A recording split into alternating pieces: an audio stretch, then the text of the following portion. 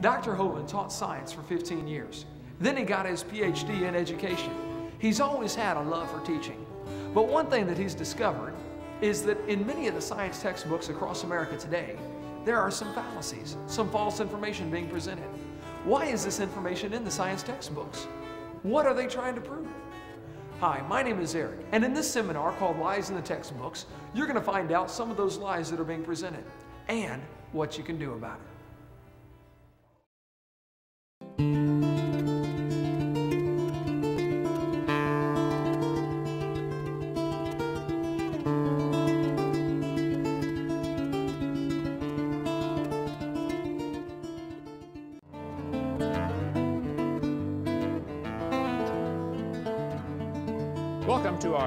Seminar tape number four on lies in the textbooks. I taught high school science for 15 years, and now I travel and do seminars on creation, evolution, and dinosaurs. And I'm concerned that what kids are being taught in our classroom is simply not true. There are some lies in our textbooks. In our first few seminar tapes, we talk about a variety of lies in the books. Now, I like science. I'm not against science. I collect science textbooks. I have actually hundreds of them, and I really, really like science. But I'm concerned there are some things in these books that just simply are not true.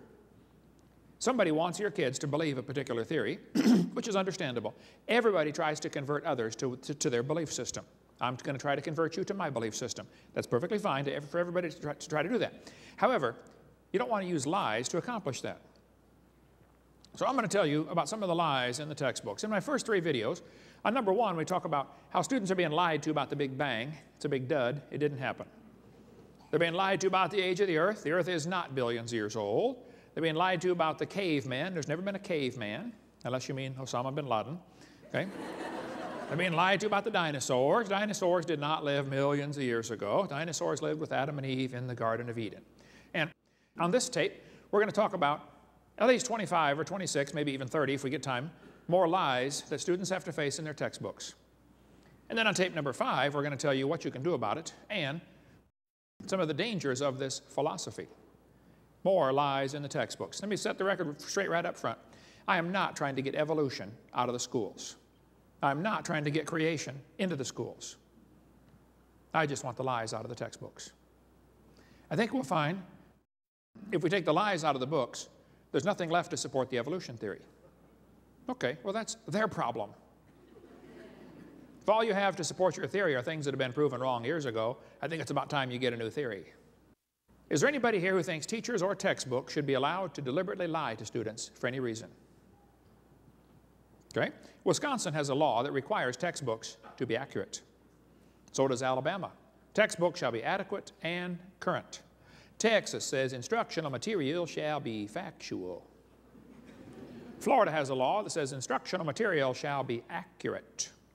California says textbooks shall be factually accurate. Minnesota says a teacher shall not deliberately suppress or distort subject matter. Yeah, sure, hey there, fella, you betcha. the problem is, absolutely none of those states, including your state, enforce the law as it's written on the book. The books are simply not accurate. Here's a public school textbook from 1908 they told the kids in 1908, God created the heavens and the earth in six days, and all that was made was very good. Prayer is a duty, but it's vain to pray without a sincere desire of heart. Hmm. God governs the world in infinite wisdom. Public school textbook. Here's a public school textbook from the year 2000. Evolution is a fact, not theory. Birds arose from non-birds and humans from non-humans. No person who pretends to any understanding of the natural world can deny these facts. I think things have changed a little bit, folks. By the way, when he says evolution is a fact, this is called a mantra. They think if you say it long enough and loud enough, everybody will start believing it. It's not a fact. Evolution's a religion. This textbook says, boys and girls, even though most scientists and religious leaders no longer see evolution and religion as in conflict, a minority of Christian fundamentalists remain opposed to evolutionary biology.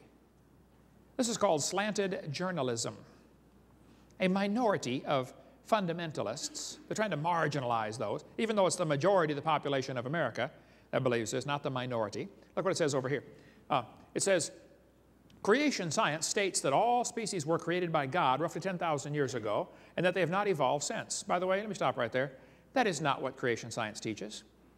Creation science teaches that all the kinds of animals were created roughly 10,000 years ago. And the only evolution has been variations within those kinds. So they're setting up a straw man here so they can knock it down and think they won the argument. Keep reading here. As scientific issues, we know these assertions are false. Over here, they tell the kids if we prevent our secondary school students from learning what science has to offer, let me stop right there. I'm not trying to prevent students from learning what science has to offer. I love science. I'm trying to prevent students from being lied to.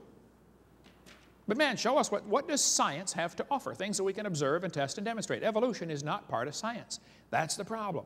Watch this now. If we prevent our students from learning what science has to offer, we run the risk that they will not be able to compete effectively in college classrooms or in today's global economy. This is the evolutionist altar call, right there. The world will be destroyed if we don't preach evolution. Oh, the sky is falling. We've got to get more evolution or we're all going to die. they somehow think that their religion is important in our schools, and it's not. This textbook has over 100 pages where evolution theory is presented to the kids. Not one mention of creation. If they do mention creation, it's always in ridicule, like the one I showed you a minute ago. A minority of Christian fundamentalists. Folks, things have changed in our textbooks. Now, this chart shows how the atheists rate the United States based on how well they teach evolution. If your state is red, they think you're doing a lousy job of teaching evolution. Yay, go Wisconsin. All right.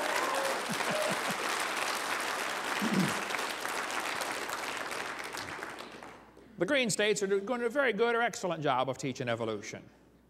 They ought to be ashamed of themselves. Is there anybody that thinks teachers or textbooks should be allowed to use outdated or false information just to get students to believe a particular theory? No. No? Okay. Anybody here that thinks teachers that lie, deliberately lie, should be fired? Yes. Okay, fair enough. Now, anybody here that thinks textbooks with lies should be banned or the lies torn out? Yes. Sure. Okay, good. Just so we're all on the same page here. Now, it's always amazed me how two people can look at the same thing and come to opposite conclusions of what they are seeing. Two people can look at Grand Canyon. One of them believes in evolution. He looks at the canyon and says, Wow, look what the Colorado River did for millions and millions of years. The Bible believing Christian stands there, looks at the same canyon, and says, Wow, look what the flood did in about 30 minutes. now, how was that canyon formed anyway? This textbook says over millions of years, the Colorado River has carved the Grand Canyon from solid rock. Now just slow down a minute. Kids, it is a fact Grand Canyon exists. How many have been to Grand Canyon? I taught her science, studied Grand Canyon avidly. I like Grand Canyon. Beautiful place. Big hole in the ground. Now there are two interpretations of how it got there. The evolutionists have an interpretation, and so do the creationists. The evolutionist is going to tell you that canyon formed slowly by a little bit of water and lots of time, millions of years. The creationist is going to tell you, oh, the canyon formed quickly by lots of water and a little bit of time. The guys who believe in evolution are continually trying to erase the line between their interpretation and the fact column, and they want you to somehow think that what they interpret as evidence is now part of the fact. You got to really watch them on this. They're pretty slick. This textbook author does it just blatantly. He says, the Colorado River has cut through layer upon layer of rock over millions of years. Now just hold on a minute. I was in a debate one time and this atheist said, Hovind, you're so dumb. Don't you know it took millions of years to make Grand Canyon? I said, well, sir, I taught earth science for years. I really enjoy studying Grand Canyon. I said, did you know if you built a dam across Grand Canyon, uh, that would take a lot of dirt, by the way, but if you did, a huge lake would fill in behind it. Did you know some of the water from Montana drains through the Grand Canyon? It's a huge drainage area. I said, Sir, did you know that in between these two red lines is what we call the snow line? There's a ridge right there. The Grand Canyon enters at the far right over here. The elevation of the river at that, at that point is 2,800 feet above sea level. The river flows downhill for 270 miles and comes out the other side. And in between, while the river's flowing down, the ground is rising up and then slowly coming back down. It is so wide, 270 miles, that you don't notice it until you get way back and look at it from a satellite. But if you look at it in a cross section, this schematic shows the difference here. The river enters right here, and flows downhill and comes out the other side. It's actually going through a giant ridge, 270 miles long. At the highest point of the ridge, the river's at about 1,800 foot elevation, so it's nearly a one mile drop down into the canyon. Really big hole in the ground. I says, now sir, there are a couple things you ought to consider about Grand Canyon. I said, did you know the top of Grand Canyon is higher than the bottom?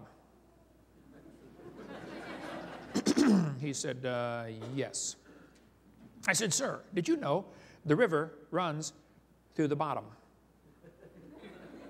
He said, yes. I said, Sir, did you know the top is higher than where the river enters the canyon? By over 4,000 feet? I said, Sir, did you know that rivers don't flow uphill? I said, Sir, did you know there is no delta? Nobody knows where the mud is that got washed out of there, but it's probably out in the Pacific Ocean. They can't find the delta for Grand Canyon. There is no possible way that river made that canyon. Grand Canyon is quite obviously a washed out spillway. There used to be two big lakes, Grand Lake and Hopi Lake, and they got too full one day, who knows when. I suspect shortly after the flood, maybe a few hundred years later, the ice caps melted or something, and the lakes got too full, and the water went over the top while the ground was still relatively soft. Within the first few hundred years, washed out that canyon in a hurry. There are still beaches where the lakes used to be. They call them Grand Lake and Hopi Lake. The lake is long gone, but you can still see the beach line where the lake used to be. Grand Canyon is a washed out spillway, folks. The water got too deep, went over the top, and washed out that whole region in a real big hurry. So when they tell you it took millions of years, they're lying to you. It did not. It's not geophysically possible. If you look at the way most rivers come together, almost all rivers join at what are called acute angles, less than 90 degrees. You can look at any map of the world, nearly all rivers come together and keep going the same general direction. Well, if you look at Grand Canyon, the rivers on the left, lower left side join at acute angles, normal river pattern. If you look at the right side, the rivers go backwards and run into the channel and turn around and come back the other way. This is evidence of a big lake that is draining. Any farmer that's ever built a dam to hold water to feed his cows or something or water his cows will tell you, once the water goes over the top of the dam, it can wash it out in a hurry. And it doesn't wash away the whole dam, it washes one slot, wherever the water finds the weakest point. So the water's running backwards off the dam to hit the lowest channel, turn around, come back the other way. Grand Canyon was not formed by the Colorado River, folks. Grand Canyon was formed by a flood. A lot of water with a little bit of time. Are there any farmers or veterinarians in the crowd that might know what this machine is? Anybody know what that is? What is that, sir? That's a calf puller. That's a what? A calf puller. Mm -hmm. Once in a while, a cow has a hard time having that baby calf. And so to get the calf puller out, tie the cable around the calf's leg and jack the calf out of the cow. You get a few tons of pressure on there, that calf comes right out, no problem. One day, this farmer was out pulling a calf. It was a breech birth. The back feet are coming out first. Not good, but hey, it happens once in a while. And so the farmer had the calf puller out there, and he's pulling the calf out of the cow, and a city fellow stopped his car to see what on earth is going on. And the farmer said, Hey, you ever seen anything like this before? The city fellow said, No, sir, I ain't never seen nothing like this. The farmer said, You got any questions? The city fellow said, Yes, sir. I have one question. Farmer said, Let's hear it. The city fellow said, How fast do you figure that calf was going when it ran into that cow? No, no, no, no. We're not separating the wreck here, fellas. You know, two people can look at the same thing, and one of them gets the wrong idea what he's looking at. The Bible warned us that was going to happen. 2 Peter chapter 3, knowing this first, there shall come in the last days scoffers. Did you know there are people that scoff at the Bible? I deal with them on a regular basis. I attract them like a lightning rod. And the Bible says they're going to walk after their own lust. See, the reason some people don't like the Bible is because of their lust, not because of their science. They don't like that book because it chaps their hide. I tell them, you better get some Vaseline, man. You're going to need it because you're going to be judged by that book, whether you like it or not. Well, the scoffers in the last days, the Bible says they're going to say, Where is the promise of his coming? For since the fathers fell asleep, all things continue as they were. Boy, that's an important phrase. Peter told us in the last days, the scoffers would say, the way things are happening now is the way they've always been happening long, slow, gradual processes. Hmm. Uniformitarianism. The Bible says the scoffers will be willingly ignorant. Willingly ignorant. In the Greek, that means dumb on purpose. They're willingly ignorant of how God made the heavens and the earth. We covered that on video number two, why it's heavens plural. And how the earth was overflowed with water and perished. The scoffers are willingly ignorant of the flood. We'll cover lots more about the flood on videotape number six. What caused the flood, anyway, and what damage it did to this planet. Well, one of the scoffers in the last days was a guy named James Hutton. James Hutton lived in the late 1700s, and he wrote a book and said the earth is much older than everybody thinks. Now, you need to understand, during James Hutton's lifetime, most people believed the Bible, and most people thought the earth was about 6,000 years old. But this was also a time of many revolutions. We had the American Revolution, the French Revolution, the Spanish, the Polish, the German. Everybody's getting rid of the king and establishing democracies. Well, whether that's good or bad is another subject, but the fact is the Bible says to honor the king, and some people thought the Bible was an obstacle to their political objectives. And so they wanted to discredit the Bible. So back when everybody thought the earth was a few thousand years old, James Hutton came along and said it's millions of years old. He was one of the first guys in the Western world to come across this idea and say, oh wow, maybe the earth is real old. James Hutton developed an idea called uniformitarianism. The present is the key to the past. In other words, the way things are happening now is the way they've always been happening, just like Peter prophesied these guys would come. Well, I think the Bible is the only perfect key to the past, but that's another story. The fact is, James Hutton's book that he wrote had a very strong influence on a young lawyer from Scotland. The lawyer's name was Charles Lyell. Charles Lyell, the lawyer, hated the Bible. Somebody calculated one time that if all the lawyers in the world were laid end to end around the equator, we would all be better off. In 1830, Charles Lyell wrote this book right here, Principles of Geology. Here on this book, you can see his hatred for the Bible kind of ooze off every page. This guy really did not like the Bible. He kept referring to it as ancient doctrines. You know, you're outdated if you believe the Bible. He talked about those people who have religious prejudices because they believe the Bible. He said, men of superior talent who thought for themselves and were not blinded by authority. I mean, you can just skim through, skim through it for yourself and you'll see he didn't like the Bible. Charles Lyell said his goal was to free the science from Moses. What do you suppose he meant by that? You see, people who read what Moses wrote will feel that God made the world in six days and the flood formed most of the geology of the world. Noah's flood messed up the real estate big time. And if people believe the book that Moses wrote, they're going to think that coal, oil, natural gas formed from the flood when things got buried. And they're going to think the canyons formed as the water ran off from the flood. Lyell didn't like that idea. He wanted people to believe the earth is millions of years old. Charles Lyell, in this book, building on the work of a couple other guys, he developed the idea that each layer of the earth is a different age. And he invented what we call today the geologic column. How many have ever heard of the geologic column before? He divided the earth up into layers, and they gave each one a name, an age, and an index fossil. Maybe you saw the movie Jurassic Park, named after the Jurassic layer. Each layer was given a name, and they told everybody how old it was. Now, this was done in 1830, long before there ever was carbon dating, potassium argon dating, rubidium strontium dating, lead, two, lead 208, lead 206, uranium 235, uranium 238. None of those existed. This was all done based on the assumption that each layer is a different age. They made up the whole thing out of the clear blue sky. Now, it's a fact the earth has many layers of rock. No question. That's a fact, folks. How'd they get there? Well, there are two interpretations. The evolutionist will say the layers form slowly over millions of years, and each one is a different age. The Bible believing Christian says, oh no, these layers are all from the flood in the days of Noah. You can get a jar of dirt, and shake it up, set it down, it'll settle into layers for you in a few minutes. But the guys, again, who believe in evolution are always trying to erase the line and make you think their interpretation is part of the fact column. The geologic column is actually the Bible for the evolutionist. It can only be found one place on planet Earth. The only place you will ever find the geologic column is in the textbooks.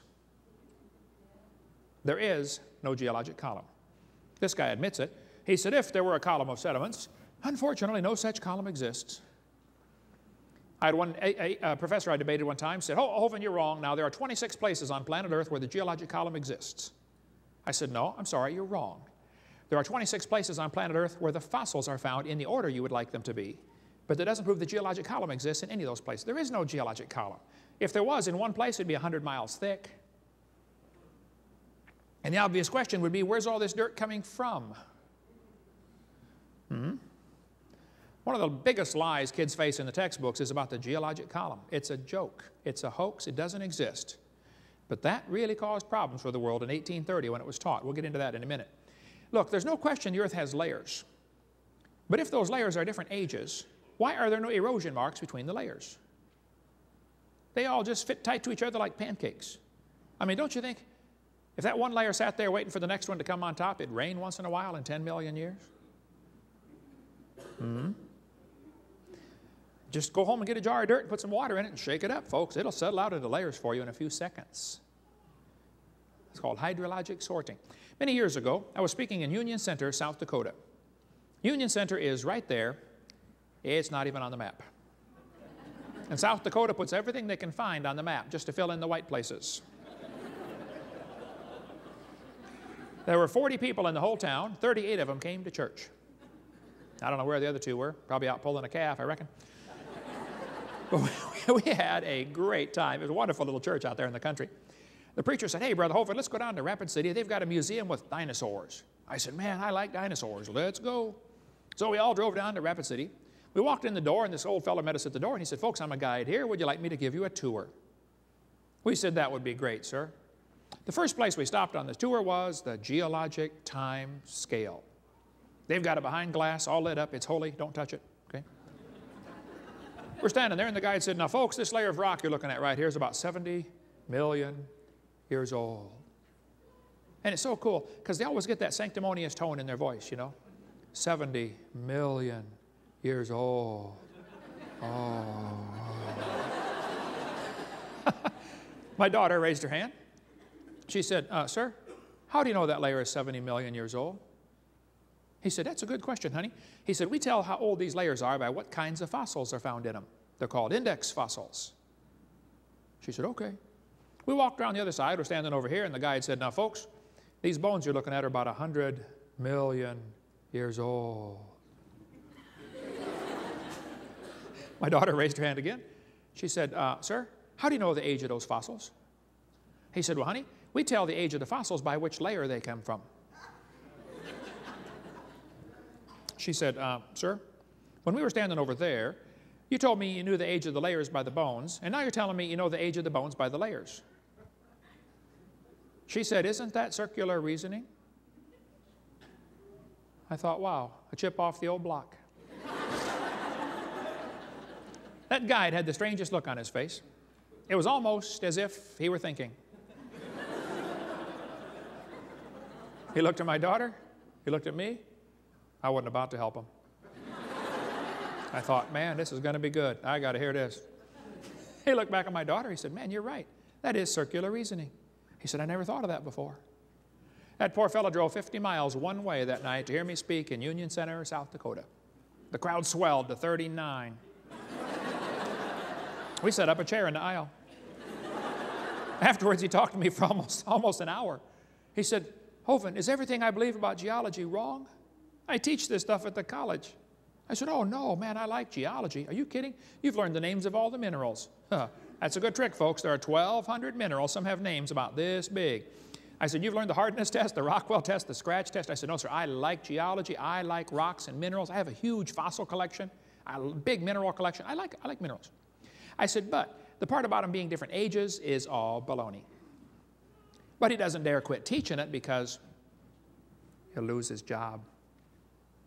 See, people who don't support the evolution theory lose their job in public schools. That's the way it works. We cover more on that on video number seven.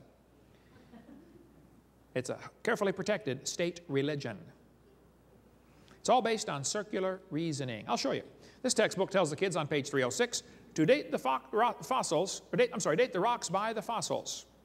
On the next page it says, date the fossils by the rocks circular reasoning. This is silly? This guy says, the intelligent layman has long suspected circular reasoning in the use of rocks to date fossils and fossils to date rocks. The geologist has never bothered to think of a good reply.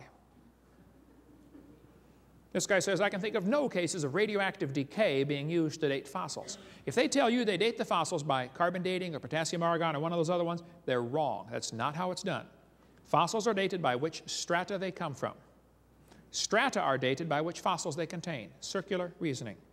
Radiometric dating would not even be feasible if the geologic column had not been erected first. This guy says the rocks do date the fossils, but the fossils date the rocks more accurately. I think the cheese done fell out of his sandwich, folks, okay? if somebody charges you with circular reasoning, here's how they answer them. They say, the charge of circular reasoning can be, in stratigraphy can be handled several ways. It can be ignored. It's not the proper concern of the public. In other words, it's none of your business how we do it. Or it can be denied by calling down the law of evolution. It can be admitted as a common practice or avoided by pragmatic reasoning. But the fact is, it's all based on circular reasoning. I like to ask the evolutionists, I'll say, fellas, your geologic column contains limestone quite a few different places. I mean, if I just handed you a piece of limestone and said, how old is it? How would you know if it's 100 million year old Jurassic limestone or 600 million year old Cambrian limestone? I mean, they're both limestone. How would you know the age of it? It's, oh, that's easy. We would tell by the index fossils. Precisely my point. This textbook shows the kids a trilobite. And it says a trilobite's a good index fossil. If you find a trilobite, it probably lived five to 600 million years ago. I don't think so. Somebody found a human shoe print where the guy had stepped on and smashed a trilobite. They asked geologists all over, how could a human step on a trilobite if trilobites lived 500 million years ago? One guy said, well, maybe, maybe aliens visited the planet 500 million years ago. hey, those aliens will do it every time. Another guy said, maybe there was a large trilobite shaped like a shoe that fell on a small one. Well, hey, there are some big trilobites, okay, but they're not shaped like a shoe. Second Peter's got the best story about that one. The scoffers are willingly ignorant. You'd have to have help to be that dumb. You couldn't do it on your own. Trilobite had the most complicated eyeball ever. And that's supposedly one of the first creatures to evolve in the Cambrian explosion. I mean, come on, it's got an eyeball incredibly complex. Trilobites did not live millions of years ago. There could be some trilobites still alive. There certainly are isopods, which are very similar, except one piece shell instead of three lobes. Otherwise, could be a descendant, a mutant, which is, by the way, which is a loss of information, not a gain. This textbook shows the kids a fossil graptolite. This is the New York State fossil. It says graptolites lived 410 million years ago. Only problem is they found graptolites still alive. Now, if they're still alive, couldn't they be found in any rock layer? Hmm. This one shows the kids the Devonian period. It says this is from 325 million years ago. It has lobe-finned fish. They got a short leg and then the fin. Well, this is silly. Lobe-finned fish are still very much alive today. It's called the coelacanth. And when they first found the coelacanth still alive in 1938, they said, wow, would you look at this? They survived for 325 million years. It never dawned on them one time to question the geologic column. That thought never crossed their brain. This lady wrote a book about it, A Fish Caught in Time. Yes, boys and girls, this is our own great uncle, 40 million times removed. I'm not sure I can help somebody like that. This textbook says that Cretaceous and Jurassic period are from dinosaurs that lived 70 million years ago. Oh, come on. Dinosaurs have always lived with man. We covered that on video number three. Dinosaur blood was found inside a T-Rex bone about 10 years ago. They tried everything they could to disprove it, and they couldn't. This is dinosaur blood cells. It's not going to last 70 million years. Human hands were found fossilized in the same strata as dinosaurs were found fossilized. Textbooks say the layers are different ages. I'm sorry, that's baloney. Now, Charlie Darwin didn't like round numbers. He said the Wealden deposits are 306,662,400 years old. How he knows is anybody's guess. But here they are telling the kids the layers are different ages, and yet all over the world, petrified trees are found, like this one, standing up, connecting different rock layers. Now, if you have a petrified tree standing up, running through multiple rock layers, I don't think it's common sense to say the layers are different ages. Not by much, anyway. I mean, how long can a dead tree stand there before it falls down? Five years, 10 years, 20 years, 5,000 years? I doubt that. And yet, petrified trees in the poly, they're called polystratofossils, going through multiple layers. They're very common.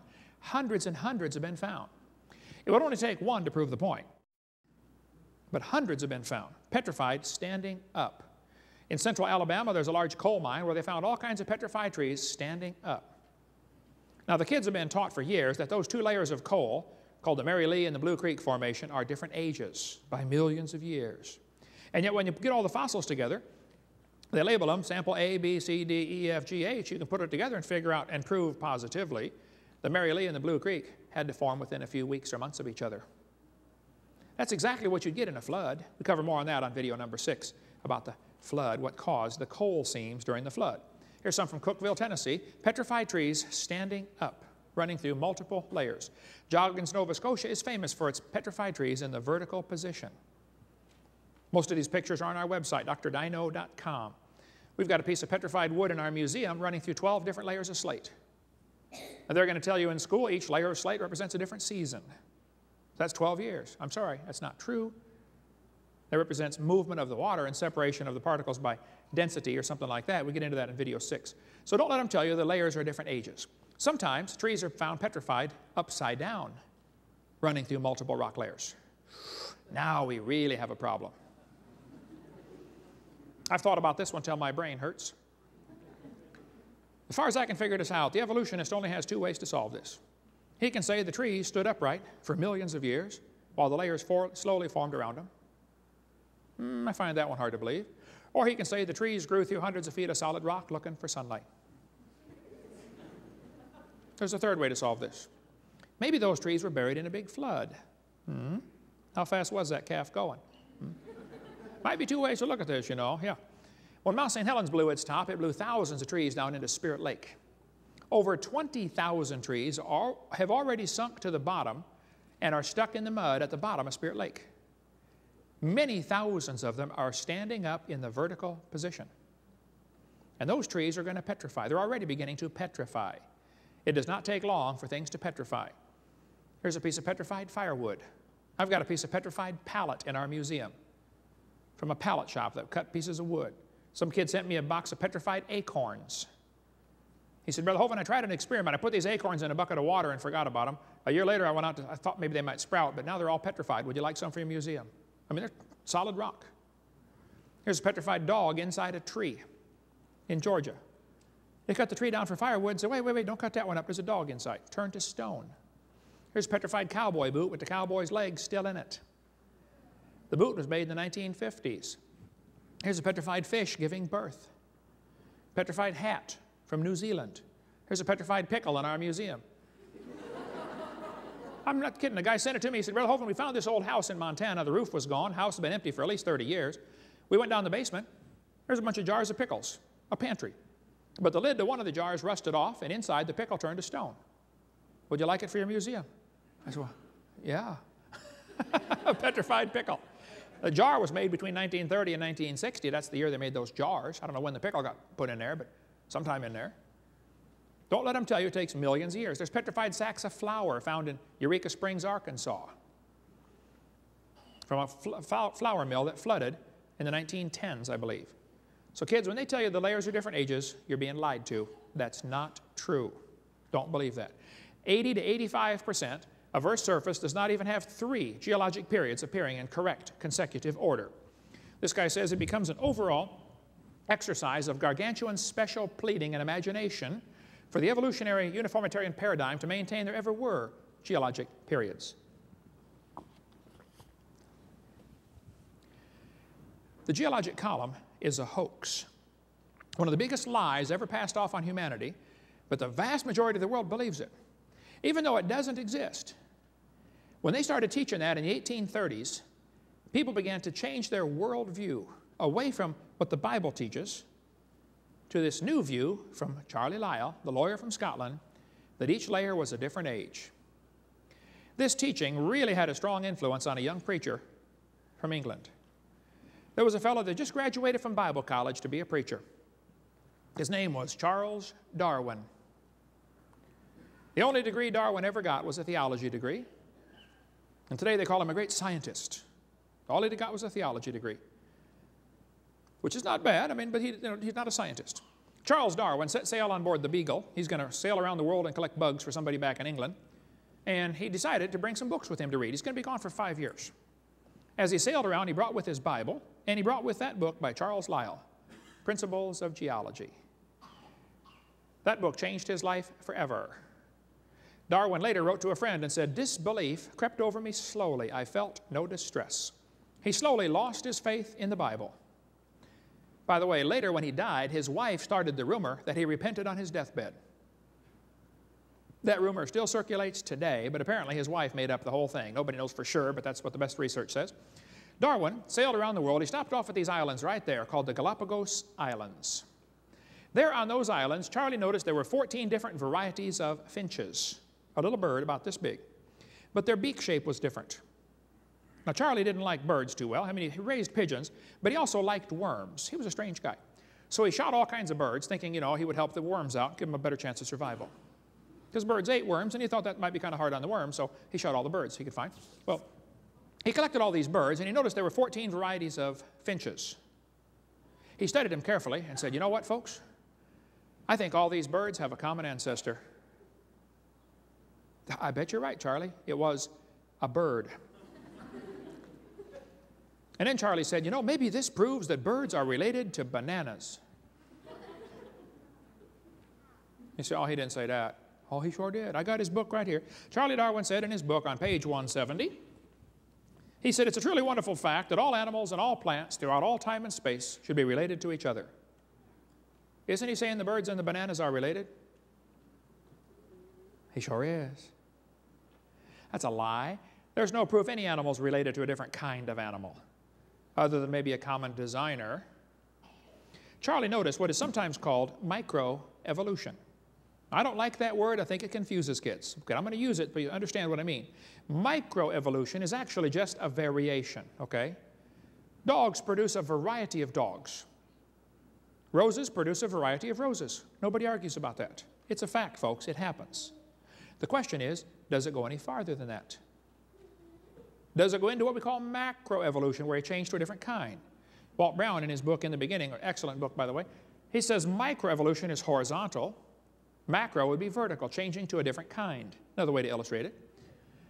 Dogs probably had a common ancestor. Even the Great Dane and the Chihuahua probably had a common ancestor. I wouldn't question the fact that the dog, the wolf, and the coyote had a common ancestor. But every five-year-old kid knows they're the same kind of animal. We had one try out earlier in the seminar. We had, had a dog, a wolf, a coyote, and a banana. We asked the five-year-old, which one is not like the others? He got it right away. The banana. See, the Bible says they bring forth after their kind. National Geographic here has an article from wolf to woof, how the dog evolved from a wolf. I don't argue with that. It probably did. But it's still the same kind of animal. Here's Mickey Mouse evolving. Bible says they bring forth after their kind, not after their species. But this guy says, the results of this and other similar surveys are startling because evolution has been a settled issue for science, in science for nearly 150 years. They found out that 46% of adults in the United States do not think humans had evolved. Well, you better define what you mean by evolved. Right, the majority of folks do not think they came from a rock 4.6 billion years ago. Now, if you want to believe that, that's fine. I don't care what you believe, but don't call it science. Evolution has six different meanings. First, you'd have to have cosmic evolution, the origin of time-space matter. Secondly, you'd have to have chemical evolution. The hydrogen from the Big Bang would have to evolve to all 92 elements, plus the synthetic ones. Then you'd have to have what we call stellar evolution. The stars would have to evolve. And nobody's ever seen a star form. We see them blow up all the time. And yet there's enough stars out there that everybody on planet Earth can own two trillion of them to yourself. Those are the ones we know about. We don't know about the ones we don't know about. then we'd have to have what we call organic evolution, the origin of life. Nobody has a clue how life can get started from non-living material. We'll cover more on that in the next session, about the origin of life. Next, to have what's called macroevolution, changing from one kind of animal into another. Nobody's ever seen a dog produce a non-dog. And lastly, we have variations within the kind that some people call microevolution. Okay, this one happens, whatever you call it, it happens. The first five are purely religious. But the definition of the word evolution is really confused for the students on purpose, I believe. I think it takes a giant leap of faith and logic just to go from micro to macro. Sure takes a big leap to go to the other four stages. Macroevolution is a fantasy based on imagination. They believe it must have happened, but there is no evidence for it at all. Teachers, though, will give the students one definition of the word to get them to believe the theory, and then they slowly weed in the rest of it when they're not looking. They're going to say, evolution is descent with modification. That's deceitful. That's not really what they mean by evolution. This textbook says, evolution is change over time. First definition. Watch how they change the definition now. In other words, living things have changed over time. Wait a minute. What happened to the first four stages? You're going to skip all the way down to living things and just assume the first four happened? Mm. Then they say, evolution is a change in species over time. Now they jumped right down to what I believe in. I believe species can change over time. I think the changes are limited. Still the same kind, but you might, somebody might call it a different species. It's still the same kind of animal. That's not really what they mean by evolution, folks. What they really mean is the whole theory comes as a package deal. Variations certainly happen, but they have limits. Haven't the farmers been trying to get bigger pigs for a long time? Do you think they'll ever get a pig as big as Texas? No, I bet there's a limit in there someplace, isn't there? I'm not sure if they reached it or not, but they're get, probably getting close to the limit of pig size. Roaches eventually become resistant to pesticides. That's a fact. Do you think they'll ever become resistant to a sledgehammer? No. I bet there's a limit. They always still produce the same kind of plant or animal, too. No new information is added. See, real evolution would mean an increase in genetic complexity, not just shuffling genes that already exist. When you have varieties of dogs produced, the gene pool is more limited for the variety. The Chihuahua is swimming in the shallow end of the gene pool. Somebody spent years crossbreeding dogs to develop a Chihuahua. All that time and money to make a dog that is 100% useless. hey, how long would the Chihuahuas last in the real world? Turn them all loose back into the woods and watch what happens. They'd run up to the wolf. Yep, yep, yep, yep, yep, yep. Crunch. End of gene pool, right? Genetic information is lost, not added, when you get your variety. Real evolution would be an increase in genetic complexity, not just shifting of gene frequency. Now, I grew up in Illinois, corn country. Did you know there are so many kinds of corn down there, they have to number them? You're driving down the highway and you'll see a sign, you know, BX65. Don't mix it up with XL29, something will explode. but I'll tell you what, folks, you can crossbreed corn from now to the cows come home, and you're always going to get corn. You're never going to get a hamster or a tomato or a whale to grow on your corn stalk, okay? That ain't going to happen. There's a varieties of dogs in the world, a whole bunch of them. And I bet they had a common ancestor, a dog. This Irish textbook calls it divergent evolution.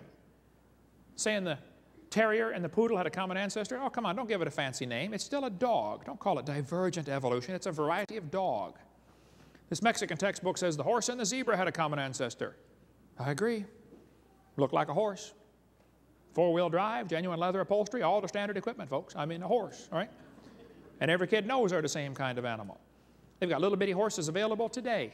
We had the world's smallest horse come visit us at Dinosaur Adventureland. Talk about useless. Can't ride it. It won't bark.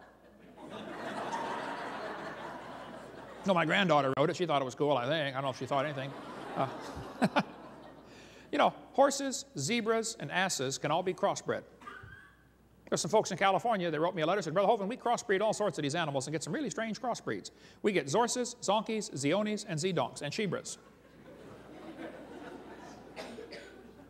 There's a herd of zebroids running around. See, the Bible says if they can bring forth, they're the same kind. A horse and a zebra can bring forth.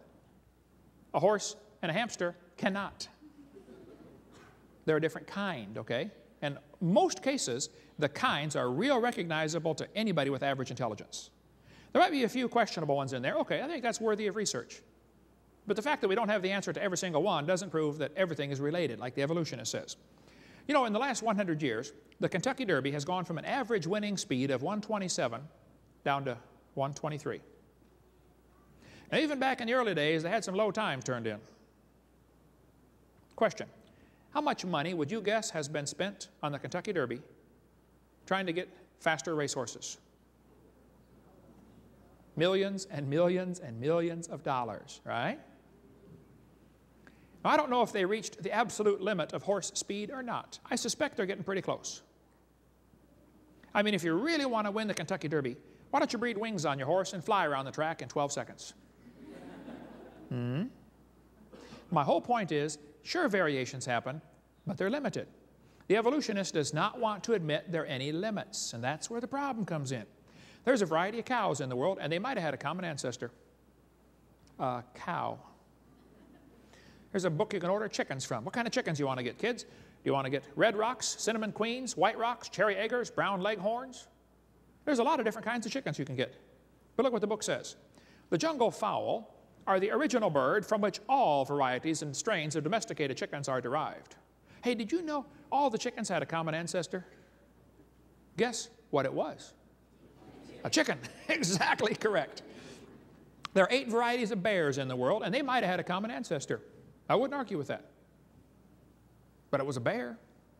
Did you know that broccoli, Brussels sprouts, cauliflower, all, and cabbage all came from a common ancestor? It was a plant. Mm -hmm. Bible says they bring forth after their kind. Here's what happened though. James Hutton wrote a book, and people began to doubt the earth was 6,000 years old. Then along came Charlie Lyell, and he wrote a book, and people began to doubt the flood formed the layers. Then along came Charlie Darwin, and people began to doubt the Creator. And by the mid 1800s, the world was in kind of a problem because uh, they didn't think God did it, but they didn't know how it got here. So uh, they looked around and said, Well, if God didn't make this place, who's in charge? It must be us. That led to the rise of humanism, communism, Marxism, Nazism, socialism. It all ties together. We cover all that on video five. But those same three false teachings are still in your textbooks today. The teaching kids the earth is millions of years old. We got here by uniformitarian processes, and godless evolution is how it happened. Paul said, Timothy, you be careful about science that is falsely so called. Evolution is not science, evolution's a religion. Hitler said, Let me control the textbooks and I'll control the state. Professor Wilson from Harvard University said, As were many persons from Alabama, I was a born again Christian. When I was 15, I entered the Southern Baptist Church with great fervor and interest in the fundamentalist religion. I left at 17 when I got to the University of Alabama and heard about evolution theory. First year in college, destroyed his faith. I suspect that might be what happened to Tom Hanks. I read an article where he was 16 years old. he wrote about how much he loved the Lord, wanted to serve Him with his life. What happened, Tom? I've been praying for Tom a lot. I'm going to try to get him saved. I'm sending him some of my videotapes here soon. I don't know why I'm burdened for him, but I just am. Many people go off to college and lose their faith. Scott wrote me a letter from Iowa. Said, Brother Hovind, until I went to college, my faith in God was sound. My college history class helped to destroy that faith. I started to doubt the Bible and God's Word, even started to doubt Jesus was truly God's Son and that He died and rose for my sins. My best friend showed me your tapes, and I was in awe of what I saw. Everything I thought I knew about life was changed. Yay, rescued one. But there are millions more that need rescued. There are kids doing homework right now, tonight, while we're sitting here, and that homework is destroying their faith. 75% of kids from Christian homes that go to public schools are going to lose their faith after one year of college. What's in these books anyway? What are they teaching our kids? They tell them they've got evidence for evolution. Here's the evidence they give them. Evidence from fossils. Oh, come on. Anybody with half a brain knows no fossil counts as evidence for evolution. None. You bring some bones into the courtroom. Your Honor, see these bones right here? These are the ancestors of everybody today. any freshman law student could say, uh, Your Honor, he doesn't know those bones had any kids that lived. And why would you think a bone you found in the dirt can do something animals today cannot do? you know, produce something other than their kind? Fossils simply don't count, folks. No fossils count as evidence for evolution. They say we've got evidence from structure, molecular biology, development. They say the process of evolution is by natural selection. There's no scientific evidence to support evolution except things that have been proven wrong years ago. And we're going to cover some of those here tonight. Now, if real evidence exists for that theory, then please show me. I'm not against scientific evidence. I am against lying to the kids. And everything they use to teach that theory to your kids has been proven to be a lie. Evolution is based on two faulty assumptions. Number one, they say mutations make something new. That's never been observed. Number two, they say natural selection makes it survive and take over the population. Now think about this carefully. If an animal evolves a little better than the rest, what must happen to the rest of them in order for this process to work? They all have to die, or else the good genes get blended back into the population. Evolution is a religion of death, not life. The question is very simple. Did man bring death into the world like the Bible says, or did death bring man into the world like evolution says? They are polar opposite, and one of them is wrong. This textbook says mutations are the original source of variation in populations, by the, shown by the many varieties of roses available. I agree, probably all the roses are mutants from the original rose. I agree with that. That's not evolution, that's a variety of rose. Mutations do not produce any kind of evolution, and anybody that studies biology knows that. Pierre Grassé believes in evolution, but he says it doesn't work, folks. It doesn't happen. Here's a five-legged bull. That is a mutation. Notice he did not get any new information. Getting an extra leg is not new information, it's a scrambling of existing information. Doesn't the bull already have legs? So it just made one in the wrong place, that's all. Here's a short-legged sheep. That's a mutant. No new information is added, though. That's a loss of information. And he's the first one the wolf is going to catch. go, boys, go. Here comes the wolf. oh, Herman didn't make it. Hmm. There's a two-headed turtle. That's a mutant. It's not ninja, but he's mutant, okay? he's going to freeze first winter because nobody makes a double-neck turtleneck sweater. I've never seen one. See, a mutation is scrambling existing information. It's not new information. If you can scramble up the letters to the word Christmas, you can get all sorts of different words. But you're never going to get Xerox, zebra, or queen out of Christmas. The letters aren't available. And scrambling existing gene code will not give you new information. This textbook shows the kids a four-wing fly. Look what it says here now. Normal fruit flies have two wings. This mutant has four.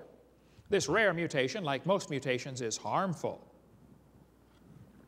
Watch this carefully. It says beneficial mutations are the raw material for natural selection. Uh, excuse me, teacher. Why don't they give an example of a beneficial mutation? Why did they show us a bad one and tell us about the good ones? You see, beneficial mutations are pure imagination. They don't exist in reality. You have to imagine that they happen. Oh, wow, there must have been a bunch of them too. Oh. Nobody ever shows one. One professor said, I know a beneficial mutation. I said, what is that, sir? He said, people in Africa that get sickle cell anemia are less likely to get malaria. I said, sir, that is brilliant, you know. That's like saying if you cut off your legs, you can't get athlete's foot. And by the way, that's the one they always bring out because that's the only one they've got. Guarantee you get into discussion on evolution, ask somebody for a beneficial mutation. I guarantee they'll bring that one up right there. It's all they've got. And that's not beneficial. Neither sickle cell nor malaria is beneficial. They say evolution and natural selection go together. Oh, yeah. This one says natural selection causes evolution. No, it does not. Natural selection selects. If I said I'm going to select everybody in the room over 12 feet tall to survive, everybody else dies. I don't have anybody to select from, do I? No. Natural selection doesn't create. If I wanted to create a race of people over 12 feet tall, so I kept killing everybody under 12 feet tall, how long would it take to get a race of people 12 feet tall? it's never going to do it. Hello. Now, the average population today probably ranges from, say, 5 feet to 6 foot 6 or something. I probably could create a population of people that are all 6 foot 6 or maybe even 7 foot, you know, by continually killing everybody under a certain point. Sure, you could do that. But you're selecting part of the gene code that already exists. You're not creating anything new. Natural selection is a conservative process. The creationist thought of it first. And it's crea- it doesn't, it selects, it doesn't create. This guy says, natural selection may have a stabilizing effect, but it does not promote speciation. It is not a creative force. Don't let them tell you it is. Natural selection is selection, not creation. Why they don't see this, I don't know. This textbook says, finches with larger beaks, larger and stronger beaks were better able to open the tough pods, and so they survived. Evolution by natural selection had occurred in just one year. That is pure propaganda. It's still a bird, and it reverted right back to the same national average after the famine or the dry spell went by. Part of the population already had the genes for tougher beaks. Natural selection does not lead to evolution. This is a lie. Natural selection selects. I'll show you. If you worked in a factory that made cars, and your job was quality control, every car that goes by, your job is to, you know, make, see if it runs. Slam the door, kick the tires, whatever you do to check it. You know, see if it works. If you caught every single mistake, they don't, by the way, but if you did, how long would it take that process to change the car to an airplane? You see, Brother Hovind, you don't understand. Quality control doesn't change it. Uh, oh, I do understand. Natural selection is like quality control. It doesn't create a thing. It makes sure you have a good species, but it won't change it to something else. They tell the kids in school the peppered moth is evidence for evolution. Yes, boys and girls, they counted the moths on the trees. Must have been a government project. and said it was 95% light color and 5% black.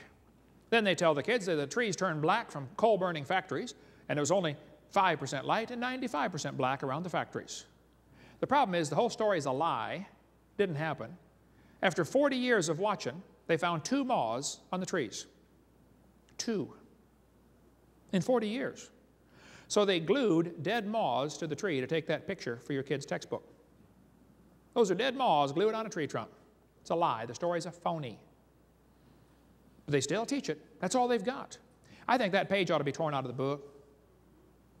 You tell the kids in the Tulsa Zoo, yes, this is proof for evolution right here. Proven wrong years ago. There's a good website, Icons of Evolution, or the, web, or the book Icons of Evolution has a whole lot on it. Peppered moth. See, they talk about survival of the fittest. Well, survival of the fittest does not explain arrival of the fittest. And survival of the fittest, I think, is what's called a tautology, a sentence that means nothing. If you say, Professor, why did it survive? oh, because it's the fittest, you know, survival of the fittest. Well, how do you know it's the fittest? Because it survived. How else can you tell? Mm-hmm. Look, folks, if a whale goes through a school of fish and eats 80% of them, it's not survival of the fittest. It's called survival of the luckiest. That's what really happens out there. But some of these people make these good observations and still come to the wrong conclusions. I don't know if you heard the story, but there was a bunch of scientists one day that wanted to see how far a frog could jump. They put the big old frog down there and said, Jump, frog, jump. That frog, boing, he jumped 80 inches. Wow. They brought him back, cut off one leg. Said, Jump, frog, jump. He only went 70. They brought him back, cut off another leg. Said, Jump, frog. He went 60. They brought him back, cut off another leg. Said, Jump, frog. He went 50. They brought the frog back, cut off his last leg. Said, Jump, frog. You know, they expected he might go maybe 40 based on the data so far. Actual jump was zero. The frog didn't move. They yelled louder, Jump, frog! Frog didn't move. They were baffled.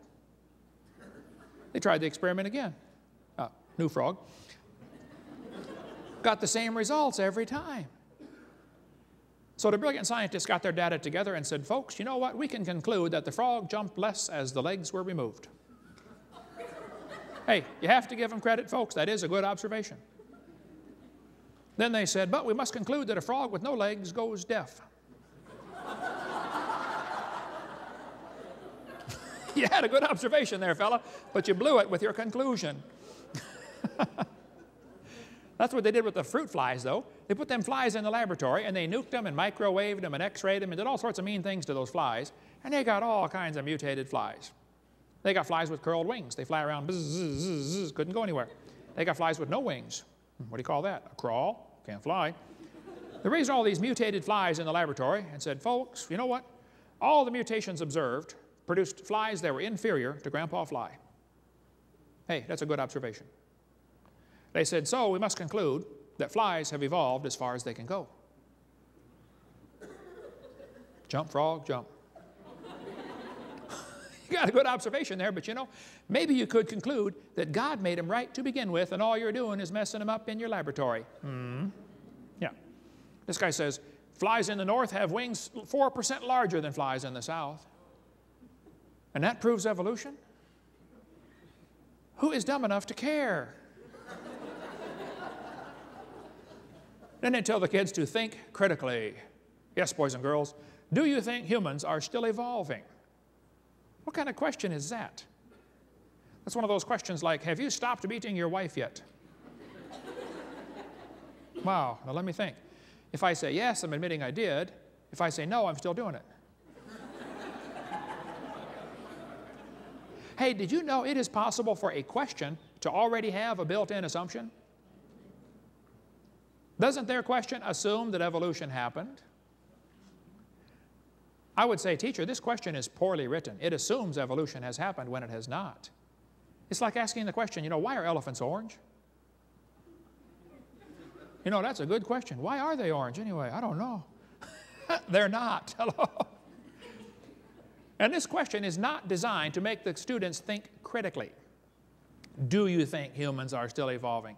That's a Soviet style indoctrination type question. And when the kid gets done with this course, he's going to think he knows how to think critically. And he doesn't know how to think at all. He knows how to be told what to believe. That's not education, that's indoctrination, Soviet style. They tell the kids, we've got evidence from structure. This is called the homology argument. Yes, boys and girls, did you know you got two bones in your wrist, radius and ulna? Mm -hmm. And did you know the whale has two bones in his flipper? And look at this. They're called radius and ulna, right there. See? That proves we're related. That's what they tell them. Look at this. These homologous structures provide evidence that these animals evolved from a common ancestor. Think critically. A seal's flipper and human arm have different functions. What evidence might help show that both structures evolved from a forelimb of a common ancestor? They show the kids the similar structures. This is in every biology book I've seen. This is one of the evidences for evolution. They call it comparative anatomy. It says comparative anatomy provides further evidence of evolution. The commonalities suggest that these and other vertebrate animals are all related. They probably evolved from a common ancestor. This is a lie. They probably have a common designer. You know, maybe the same guy designed them all. But every textbook around the world, I've got books from Latvia and Mexico and Russia, they're all teaching the same thing, folks. And it's silly. By the way, those bones develop from different genes on the chromosomes of these different animals. They're not homologous. Similar design might prove the same designer made them. Did you know the lug nuts from a Pontiac will fit on a Chevy? You can go outside and try it, it'll work. That proves they both evolved from a Honda 14 million years ago. now look, it's a fact, it's a good observation when they say many animals have a similar four-limb structure. That is a good observation, I agree. Then they say, they must have had a common ancestor. Oh, I disagree. This helps prove we all came from a rock. Oh, jump, frog, jump. then they say we've got evidence from development. This one makes me angry, so I'm going to stay calm. We're going to do this in just a few more minutes, and then we're going to quit. Take a break. This book says the similarity between early stages in development helped convince Darwin that all forms of life shared common ancestors. Darwin considered this by far the strongest piece of facts in favor of his theory. Haeckel called it the biogenetic law.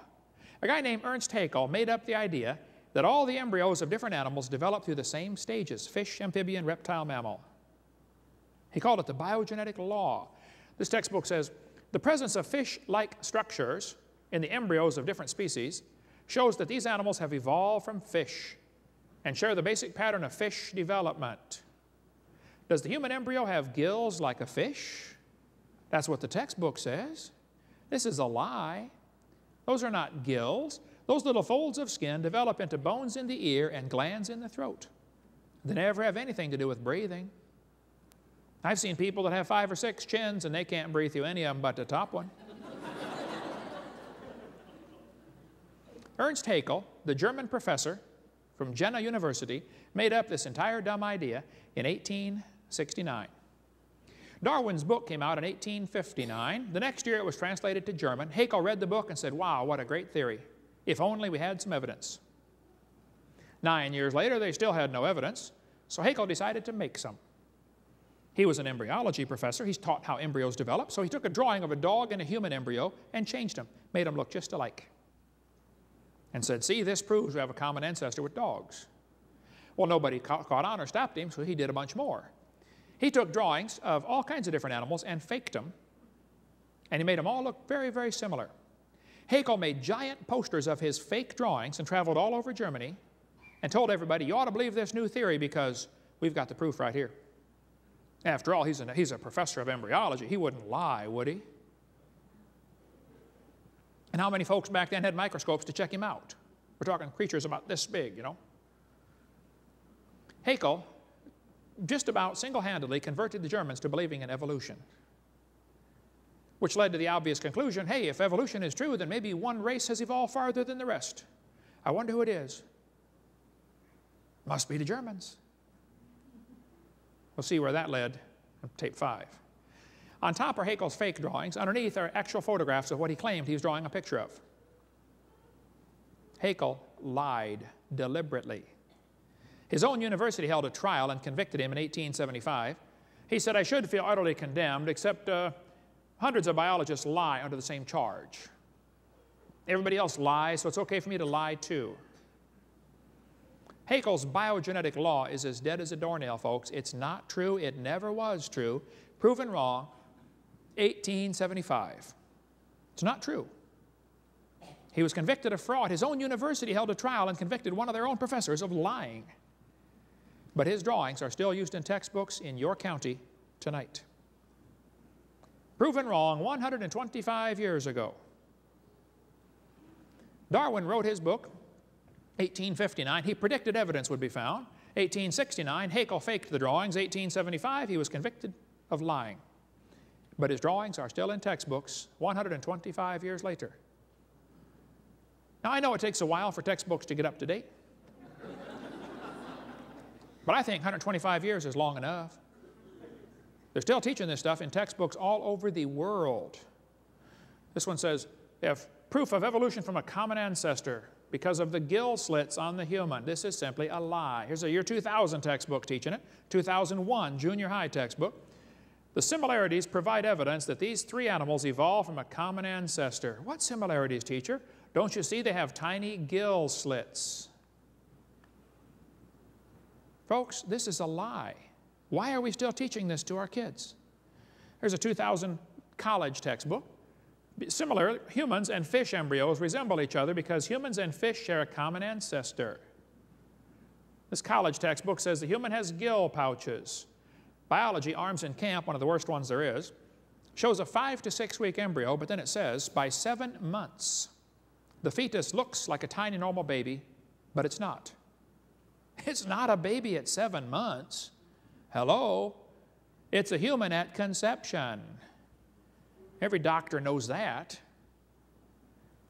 34% of babies born at five and a half months are going to survive. Maybe you heard about the lady that had surgery on her baby before it was born. They cut the mother open, cut the uterus open, and there's the baby holding the doctor's finger, five months along. Let's see, the angel of the Lord said, Behold, thou art with fetus. No, I believe he said you are with child, didn't he? Hey, did you know it's a child before it's born? God knows that. Get more on the embryology lie on the book Icons of Evolution. Why do they keep this in the textbooks? That's the only way to justify abortion. They want you to think it's just a fish or an amphibian. You're not killing a child, you're killing a fish. That's why it's in the books, folks. Somebody wants to reduce the population of our planet. His name is Satan cover more on that on video number five about the effects of this evolution teaching. Uh, I live in Pensacola. you might have heard of my town. We've had two doctors killed that were doing abortions, several clinics blown up or burned down.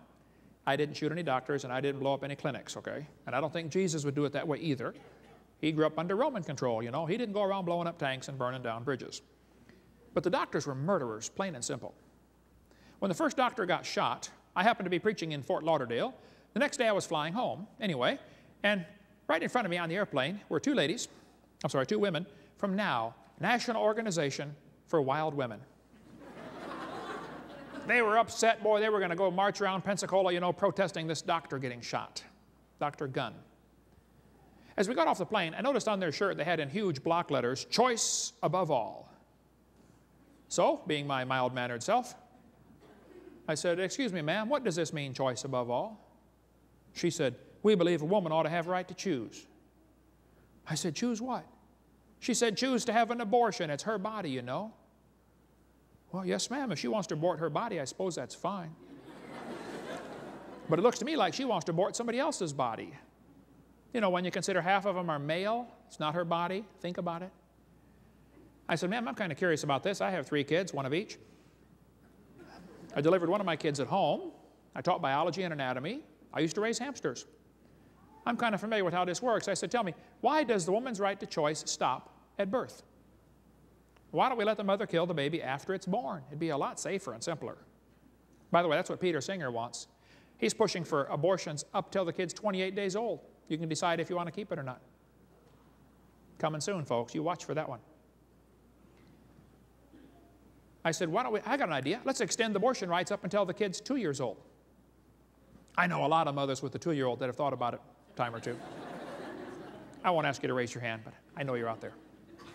Hey, let's extend abortion rights up until the kid is 18. I bet they'd behave a lot better. All right, son, one more time, and I'm going to abort you. hey, teacher, where's Johnny today? Oh, he didn't do his homework yesterday, so his mommy aborted him. Hey, grades would skyrocket, folks. Well, the ladies didn't want to talk about it anymore, I guess, because they left. And so I went and got my luggage, and I'm waiting talking to a cameraman. He showed up from Chicago to film this rally. I thought, now, wait a minute. There's going to be six people march around town. It's going to make worldwide news. You can get 100,000 people to line your streets against abortion, and it won't make the news. Have you noticed that? You know, the news media calls them pro choice, and they call guys like me anti abortion. Anti is a negative term. Pro is a positive term. It's called slanted journalism. That's one of the reasons I refuse to take the local paper. We get a call once in a while. Hey, you want to take the local paper? I say, no, ma'am, we don't have a parakeet. That's what I tell them.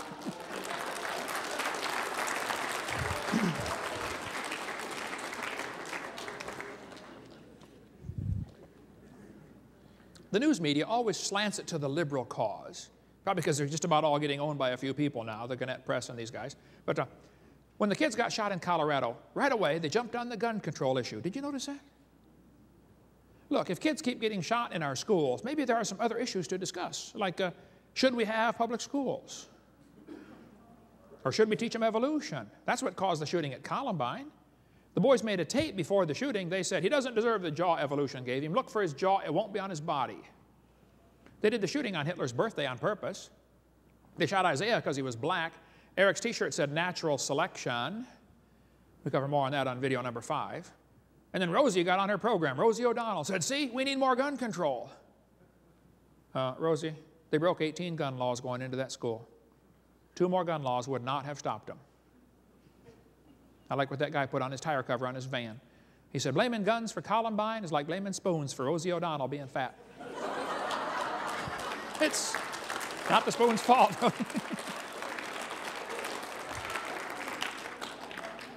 you know, if kids keep getting shot in our schools, maybe uh, the issue we should discuss is certain criminals ought to be publicly executed. Or maybe we should discuss the issue, should all law-abiding citizens be required to carry guns to protect themselves? Hmm? Yeah. Somebody sent me this button as a joke. Proudly unarmed. Would you wear that?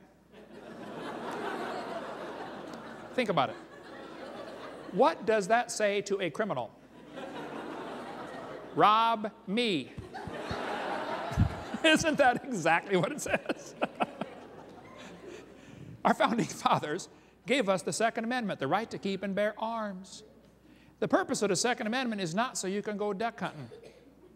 The purpose of the Second Amendment is so you can protect yourself if the government goes bad. That's why we got it. Hey, did you know there's an awful lot of animals that eat grass that have horns? You don't need horns to eat grass. But see, you need the horns to explain to the lion, stay off my back so I can eat the grass. And that's the purpose of the Second Amendment, so the citizens can explain to everybody else, leave me alone. I just want to work and earn my money. Now leave me alone. Right? Get into more of that on part five. Here's the logic they used to justify abortion. They're going to say it's not human. Oh, come on, that's not true. Proven wrong, 1874. They're going to say it's not viable, it can't live on its own. Uh, well, you're not viable either, stark naked on the North Pole. Mm they say it can't live on its own, so we can kill it. I know kids that are 25 that still come borrow money from dad.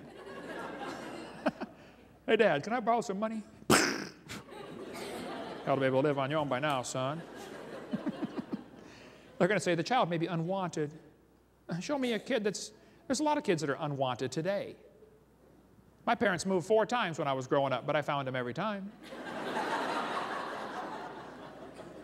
now listen, there's probably 15 people in this room that have had an abortion. Now you listen carefully.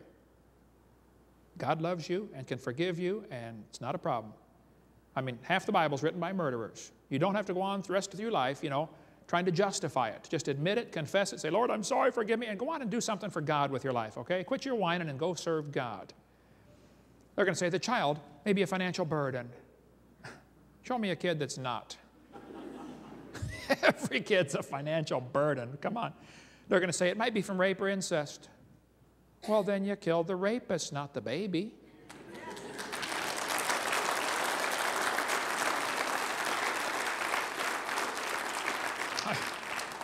I mentioned this in a seminar one time, and this medical doctor was there, and during question and answer, he said, Dr. Hovind, suppose a woman is raped and gets pregnant. Are you saying she should be required to carry that baby?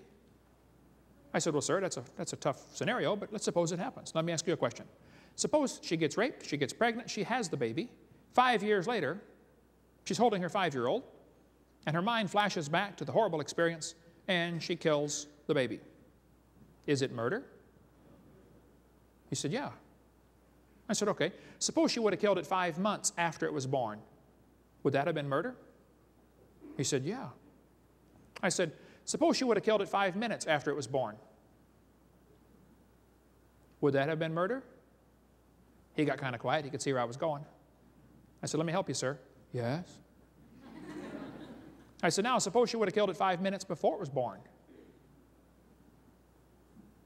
Folks, rape's horrible. So is murder. Let's start killing rapists and put an end to this thing, okay? Yeah. Hey, is it illegal in Wisconsin to shoot deer at night with spotlights? It is, isn't it? You have to give them a sporting chance, right?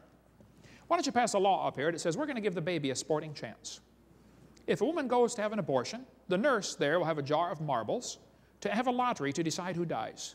One marble for baby, one for mother, and one for father. And one for doctor and one for governor. And let's put several in there for the past president. Yeah.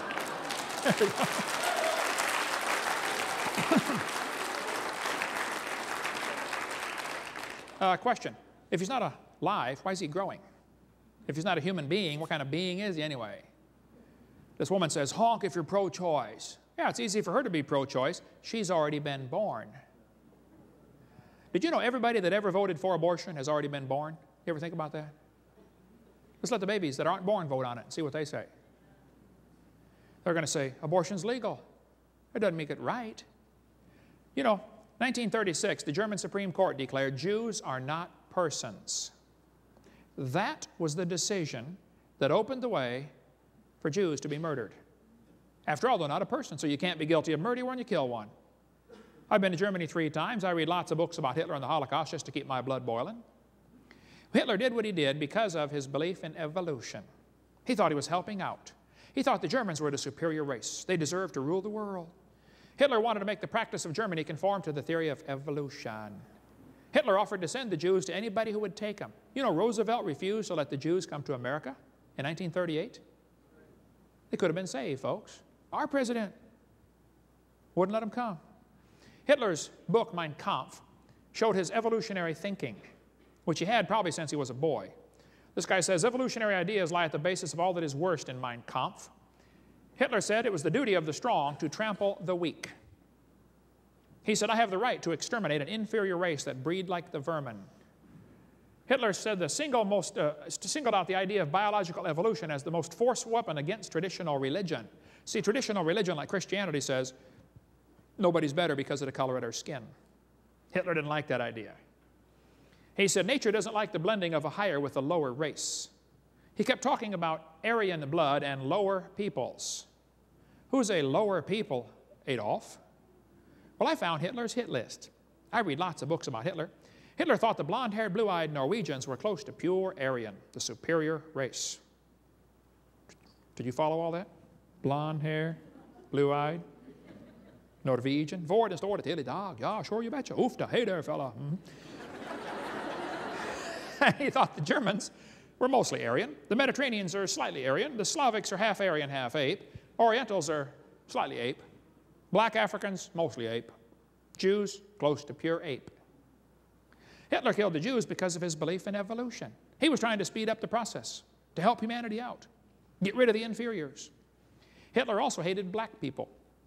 Uh, does anybody know where the Olympics were held in 1936? Germany. Does anybody know who won the most gold medals? Jesse Owens, the black American athlete. Hitler was so angry, he walked out of the stadium and said, It's not fair to make my men race against this animal. Hitler said, I think Christianity is the most fatal, seductive lie that ever existed. Because Christianity teaches God hath made of one blood all nations of men to dwell on the earth. Now, if you think you are superior to somebody because of the color of your skin, number one, you're wrong. Number two, you're stupid. Number three, you're not right with God. And I preached the same message in Georgia and Alabama and Mississippi and I would preach it to the KKK. You're wrong. I stood in the courtroom in Nuremberg where the trial was held. Those guys, 50 years ago, said, We did nothing illegal, we're just obeying orders. Yep, and they were found guilty of murder, weren't they? And just because our Supreme Court said the unborn child is not a human, not a person, that was the decision. 1973, Roe versus Wade. I don't care what the Supreme Court said, it's a person, it's a human at conception. But since that decision, we've now had 40 million babies killed by abortion in America, a billion worldwide, a thousand million. On September 11th, 2001, 3,000 Americans were killed by terrorists.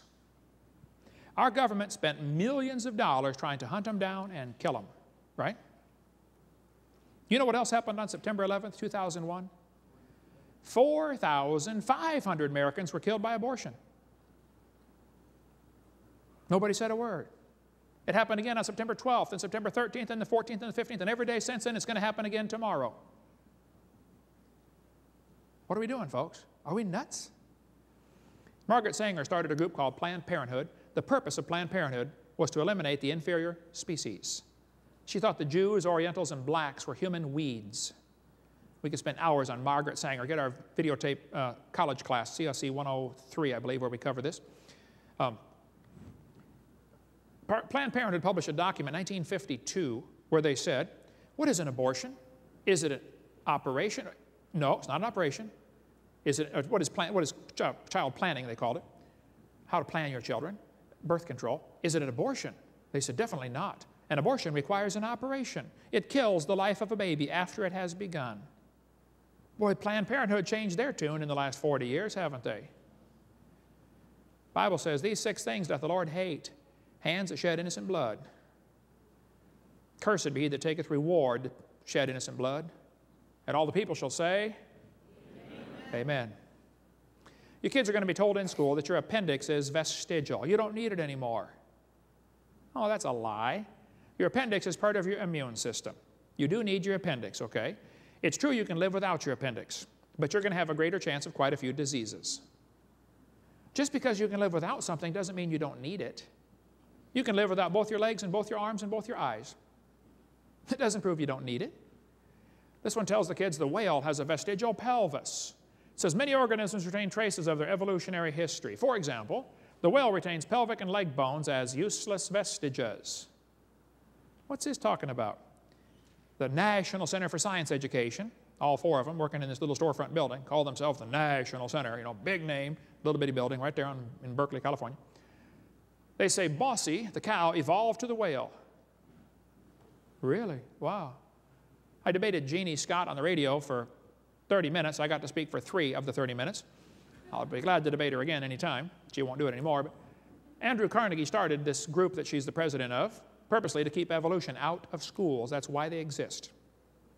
But the cow did not evolve to the whale. This textbook says the whale has a pelvis that has no purpose. Hmm. They have hind limb bones that have no function. Holt Biology 2001. Just imagine whales walking around. It's true. What are they talking about? They're talking about those little tiny bones right there. Just imagine the whale walking around. you know, I tried, and I can't imagine. says the whale's pelvis has no function. Hmm. Whale's pelvis is evidence of its four-legged, having a four-legged land-dwelling mammal as an ancestor. Oh, come on, this is a lie. Those little bones are part of the whale's reproductive system. Whales are pretty big, you know. That supports different muscles. The whales cannot reproduce without those little bones. It has nothing to do with walking on land. It has to do with getting baby whales.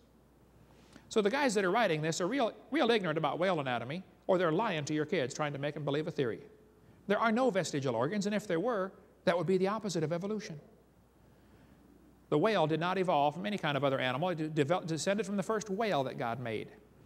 You know, the Ambulocetus here, only the dark bones were actually found. But they can make up all kinds of stories from a few little bones.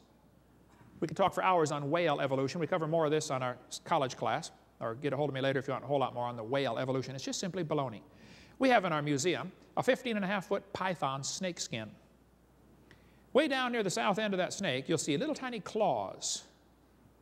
Here they are, right there, little bitty claws with a little bone inside. Now look what this textbook says. Snakes have rudimentary hind legs. Uh, excuse me, those are not hind legs. Those little claws are used during mating. Snakes don't have any arms, you know.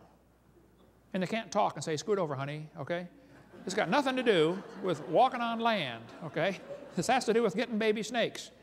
Now, these guys ought to quit lying to the kids. This one says, humans have a tailbone that is of no apparent use. I was in a debate with the president of the North Alabama Atheist Association. He got up in front of God and everybody. He said, Folks, we got proof for evolution. Humans have a tailbone they no longer need. I said, Mr. Patterson, I taught biology and anatomy. I happen to know there are nine little muscles that attach to the tailbone, without which you cannot perform some valuable functions. I won't tell you what they all are, but trust me, you need those muscles. I said, Now, if you believe the tailbone is vestigial, I will pay to have yours removed. Bend over.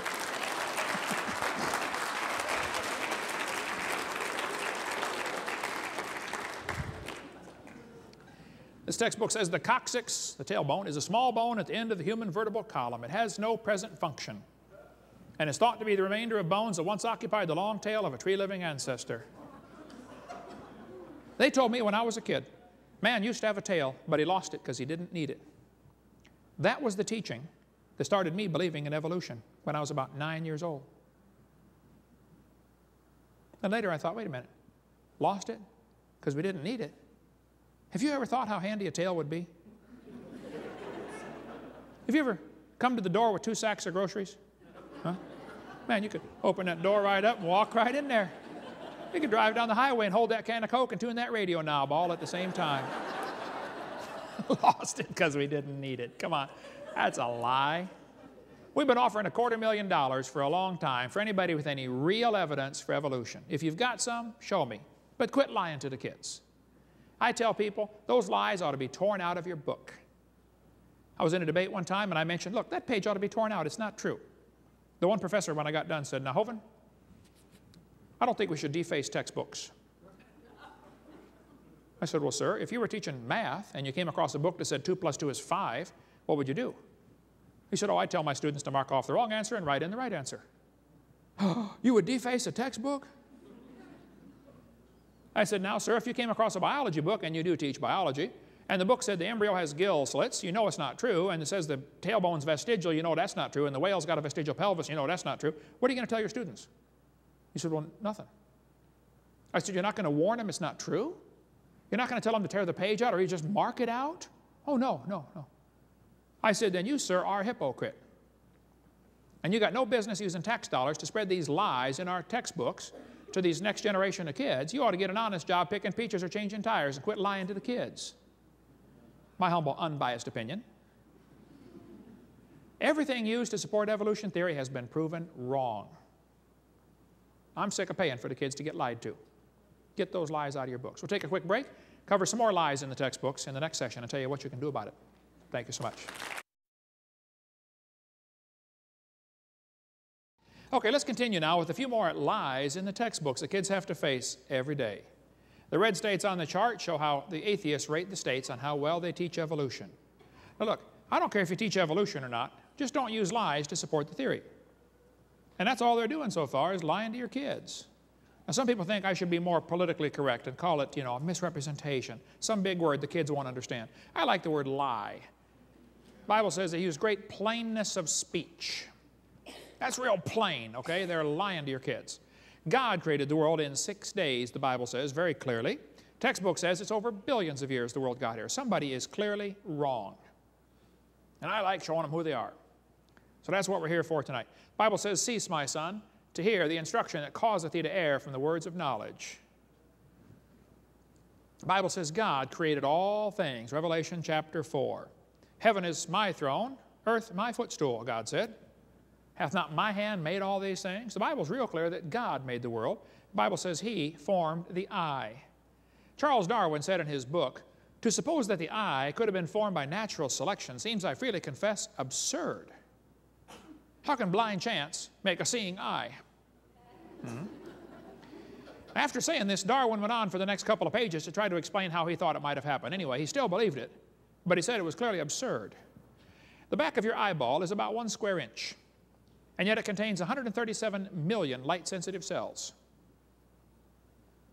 How would you like to be the electrician to hook up 137 million connections in one square inch? Uh, my Heavenly Father did. He's pretty smart, ain't he? I got a call from an atheist one time. And actually did, did a debate on the radio. He said, Hovind, you're dumb. He said, don't you know the eye is an example of poor design? I said, really? He said, yeah, it's wired backwards. He said the blood vessels are in front of the retina, and the light coming through has to go through the blood vessels to hit the retina, and it blocks out some of the light. He said the octopus has a much better eye because their blood vessels are behind the retina. I said, Well, sir, let me explain a couple things to you. I said, uh, We live in the air. Air does not block UV light very well, and UV light will destroy your retina. So, you have blood vessels in front of your retina to block the UV light. Now, octopus live in the water water blocks UV light. So they don't need the blood vessels in front. They can actually see better underwater than you could. But if you want to swap eyes with an octopus, go ahead, because in a few days you're going to be blind. So we are designed just fine for living in the air, and they are designed just fine for living in the water. I said, Do you have any other dumb questions?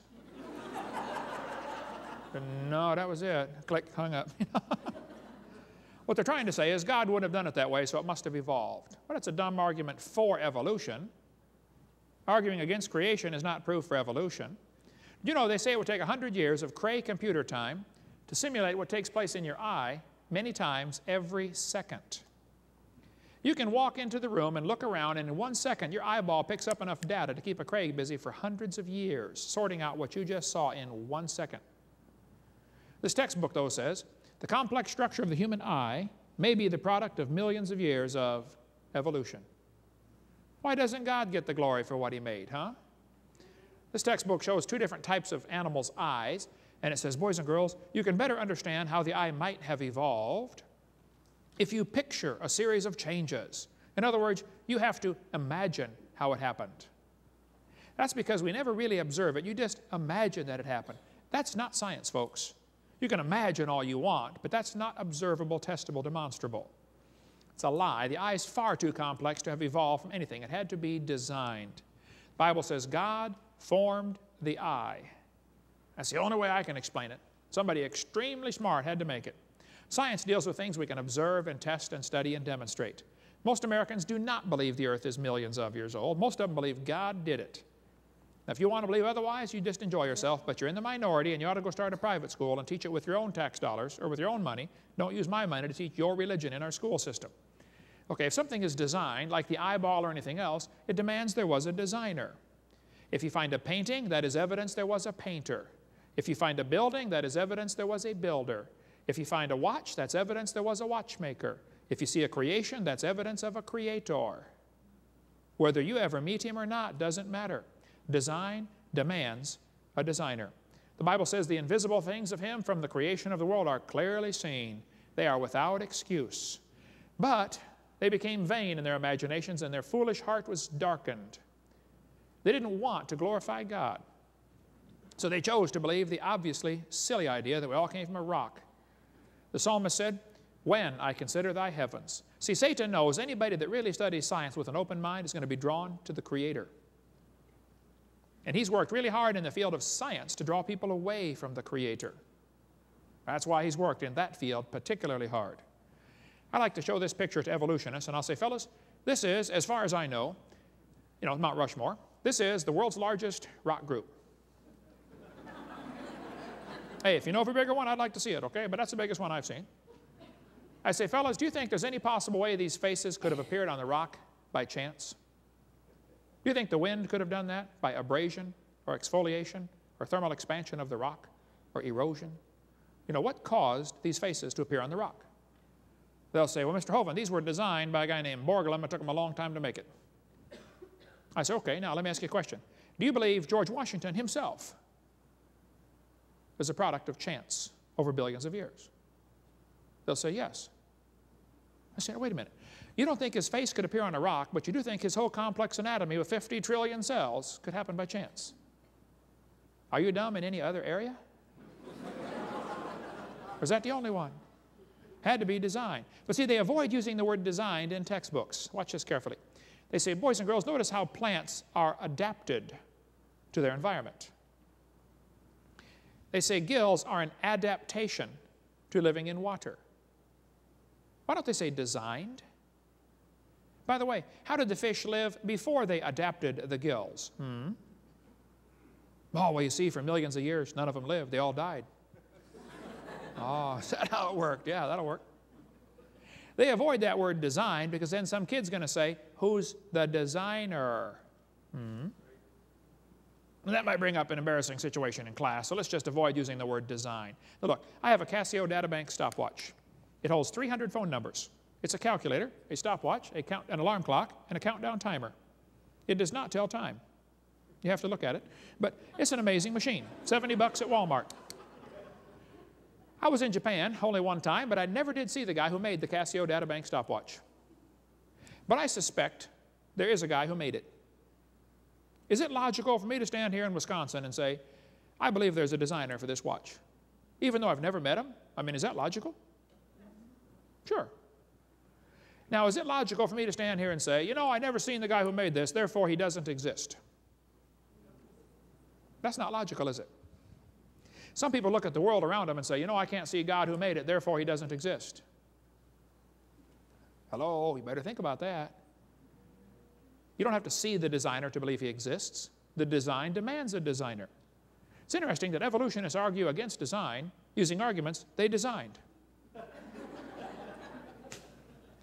One guy wrote a whole book called The Blind Watchmaker. He said it could have happened over billions of years.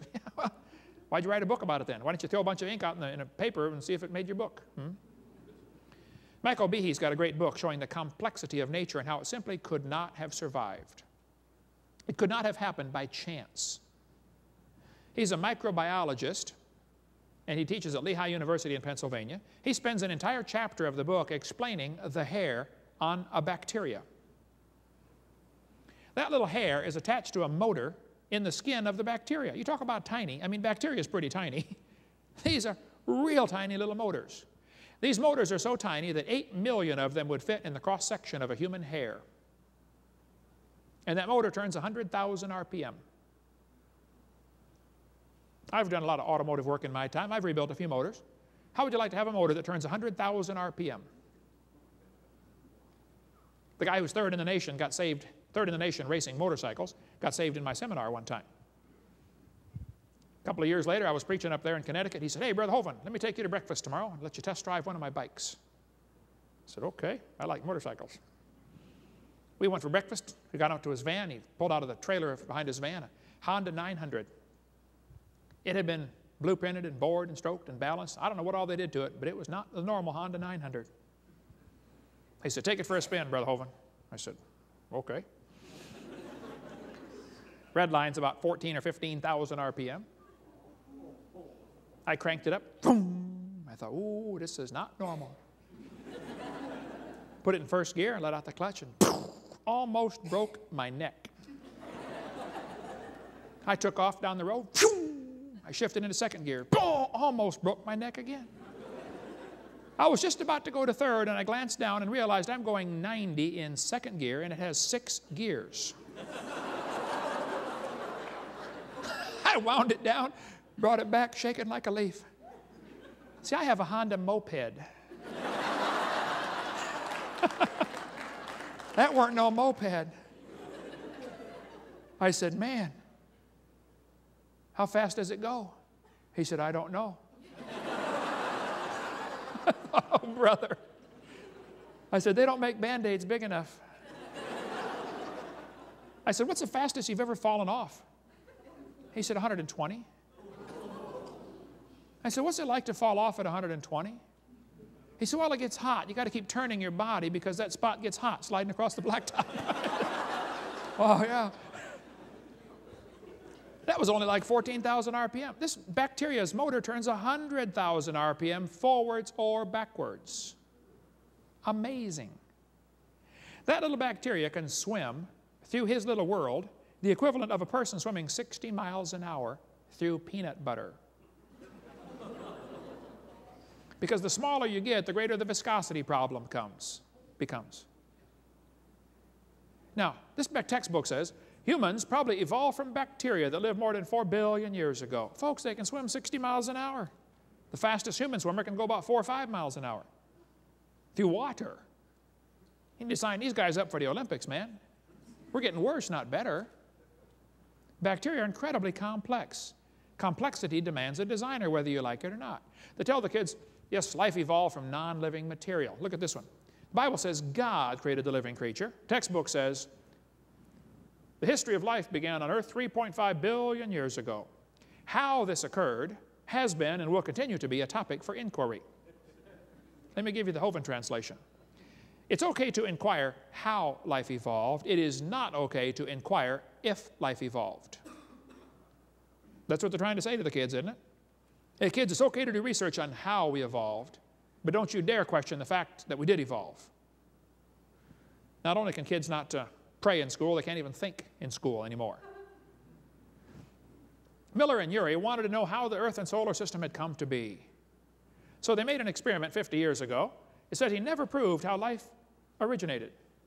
But he did add evidence to the theory that life could have started by itself. This is a lie. Miller and Urey's experiment, and everybody since then, has made the problem much worse. See, Darwin thought a cell in your body was a little simple sack of jelly. Now we know cells are incredibly complex and life could not have started by chance. Um, the origin of species was not addressed in 1859 and is still a mystery in 1998. Both the origin of life and the origin of major groups of animals remains unknown. They don't know how life got started. But the textbooks will tell the kids life got started from non living material. This one says many important events occurred during the Archean era, the most important of which was the evolution of life. Progress from complex molecules to the simplest living organism was a very long process. Oh, yeah, let's put time in there, that'll help. This textbook says the first self replicating or first living cells emerged between 4 billion and 3.8 billion years ago. There is no record of the event.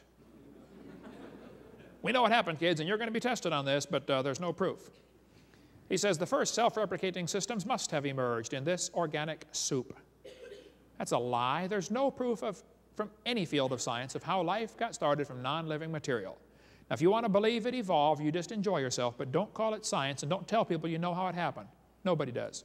Haeckel, during his confession at the University of Jena, said, Spontaneous generation must be true.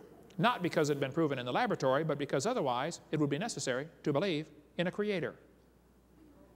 Oh, you're right about that, Ernie. Must have been a creator. So a question, have scientists really produced life in the laboratory? Here's the experiment they did. Miller and Urey took gases. They took methane, ammonia, water vapor, and hydrogen, circulated them through some glass tubes, and ran a spark in there to say this is like lightning. At the bottom, some red goo developed, and so they filtered it off and saved all the red goo at the bottom of the flask. They said the goo is rich in amino acids. This is a lie, okay? It was not rich in amino acids. It's interesting to notice they excluded oxygen from the experiment. They didn't want any oxygen in there because they knew if they had oxygen, anything they created would oxidize. You know, you cut the banana open, lay it on the table, it turns brown, it oxidizes. If you don't paint your car, it oxidizes. It's called rust. They didn't want any oxygen there because it would destroy any life that evolved. The problem is, if you don't have oxygen, you can't have ozone. And ozone blocks UV light, and UV light destroys ammonia. And ammonia is one of the gases. So if you don't have oxygen, life can't evolve. And if you do have oxygen, life can't evolve. Got a real serious problem here. And by the way, the Earth has always had oxygen. Even if you believe the dumb geologic column, the lowest layers have oxygen. This guy says, what evidence, what is the evidence for a primitive methane ammonia atmosphere? The answer is there is no evidence for it and much against it. In general, we find no evidence in the sedimentary distribution of the rocks of oxygen-free atmosphere. Don't let them tell you that's true. But this textbook says, yes, boys and girls, back when there was no oxygen, 0% oxygen, the rocks absorbed it. Say what? There was no oxygen, but the rocks absorbed it. the cheese done fell out of their sandwich, man. I'm telling you, that elevator don't go all the way to the top. and then two billion years after the origin of life, there was enough oxygen to support the eukaryotes. Oh, ah, slowly evolved to today. This is pure propaganda. What Miller did in his experiment, and Urey and everybody since, they filter out the product they produce. This is not realistic for nature. What they actually made was 85% tar 13% carboxylic acid. Both of those are toxic to life. Now, if you make an experiment that's 98% poisonous to the other 2% you're trying to make, would you say that's a success? Actually, what he generally made was two amino acids. There are 20 necessary for life. He made basically two in a poisonous mixture. He filtered out the product. That's not realistic. The, he made these amino acids, but they will bond with the water and the tar and the acid much quicker than they will bond with each other. Amino acids are sort of like letters of the alphabet. You know, there are 26 letters in the English alphabet. With combining those 26, you can make all kinds of words if you get them in the right order. You can also just drop letters and make a whole bunch of nonsense stuff too, you know. He made a few amino acids. It's like making a few letters of the alphabet. There are 20 amino acids required to make proteins. He just made a few of them. These amino acids are like letters. It takes a bunch of them to make paragraphs. It takes a whole bunch of them to make a book. And to make one living cell takes trillions of these amino acids in precise order. Half of what he made was right-handed, half were left-handed amino acids. This creates a real problem because the smallest proteins have about 70 to 100, maybe there's one less, I don't know, uh, but all are left-handed. The smallest DNA all have, and DNA and RNA all have right-handed. It's called the chirality. He made a mixture. It's not going to work. They will unbond in water much faster than they bond, and as far as anybody knows, the oceans are completely full of water. and Brownian motion is going to drive them apart, not bring them together. The experiment was a fraud. It's a lie. It's a fake. It didn't, didn't work. Don't let them tell you they made life in the laboratory because they never came close. Somehow they get this idea, though, that all you got to do is get all the molecules together and add energy, and it'll make life. Okay, well, then let's do a science experiment. Let's put a frog in a blender and turn it on. In just a few moments, you will have frog nog. you will have all of the energy required to make a frog, all of the molecules required to make a frog in one place. Right? Now we're going to add energy. Put it on puree. Leave it on for a million years. Nuke it, microwave it, zap it with jumper cables. I don't care what you do to it. How long will it take to reassemble the frog? it ain't going to work, is it? No. We don't have a tree of life. They put this in the textbooks like, yes, boys and girls, humans evolved from bacteria billions of years ago. It's in all the textbooks. This is pure propaganda value. That's what it's in there for. There's no evidence for any of it. Even Mary Leakey said those trees of life with the branches of our ancestors are a lot of nonsense. Stephen Gould said the evolutionary trees that adorn our textbooks are not the evidence of fossils. They make this stuff up. It's imagination. This textbook says all the many forms of life on Earth today are descended from a common ancestor found in a population of primitive unicellular organisms. There's no such thing as a primitive unicellular organism. And then it says, no traces of those events remain. Yes, boys and girls, we know what happened, but there's no proof. Mm -hmm. This textbook says the humans, the birds, and the crocodiles have a common ancestor. Isn't that the impression they're trying to get across? Look, folks, everything inside that circle is pure religious speculation, not science. They might want to believe that, but that's not science. It's a lie. It's based on pure imagination. Anybody that teaches that is in trouble when they stand before God. Jesus said, if you destroy a child's faith, you're in serious trouble. Read Matthew chapter 18. Then they tell the kids, because something is smaller, it is simpler. They talk about sim simple, simple one-celled organisms. Look, a paramecium is single-celled, but it's not simple. One paramecium is more complex than the space shuttle. And you can put thousands of those into a drop of water. Smaller is not simpler. Here's a paperclip around a microchip. This ant is holding a microchip in his mouth. That microchip can process every letter of the Bible 200 times per second. Smaller is more complex. I'll show you. Let's compare the brain of a honeybee to the NASA Cray computer, the YMP C90, at one time the world's fastest computer. The Cray computer is huge. The brain of the honeybee is tiny. The Cray computer did 6 billion calculations per second. They estimate the honeybee's brain does 1,000 billion per second. The Cray computer uses many megawatts. The honeybee uses 10 microwatts, extremely efficient. The honeybee can fly a million miles on one gallon of honey. Let me see you make a machine that gets a million miles per gallon. The Cray cost $48 million. The honeybee's brain is pretty cheap. You splat them on your windshield all the time. Many people scramble when the Cray breaks down. The honeybee heals itself. The Cray weighed 2,300 pounds. The honeybee's brain doesn't weigh too much. Let's see, what can we conclude? The supercomputer was huge, slow, inefficient. You had to babysit the dumb thing. But everybody knows it had to be designed. Right? There's nobody with half a brain that'll tell you the Cray came from an explosion in an electronics factory. it was designed, okay? And yet they turn right around and think the honeybee evolved. And the brain of a human is a lot more complex than a honeybee. A lot more complex. Did you know your brain is capable of a memory capacity of storing all the information of the British Library. And it has a computational speed in bits per second equivalent to the entire national telephone system. Just in three pounds of gray matter. It's estimated there are more connections in your brain than there are electrical connections in the world. How many times have two wires been put together and crimped or soldered or clamped together somehow? wire nutted in the world.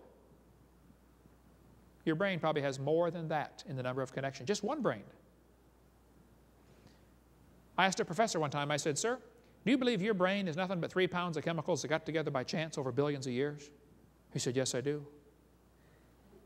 I said, Then how can you trust your thoughts and the reasoning processes?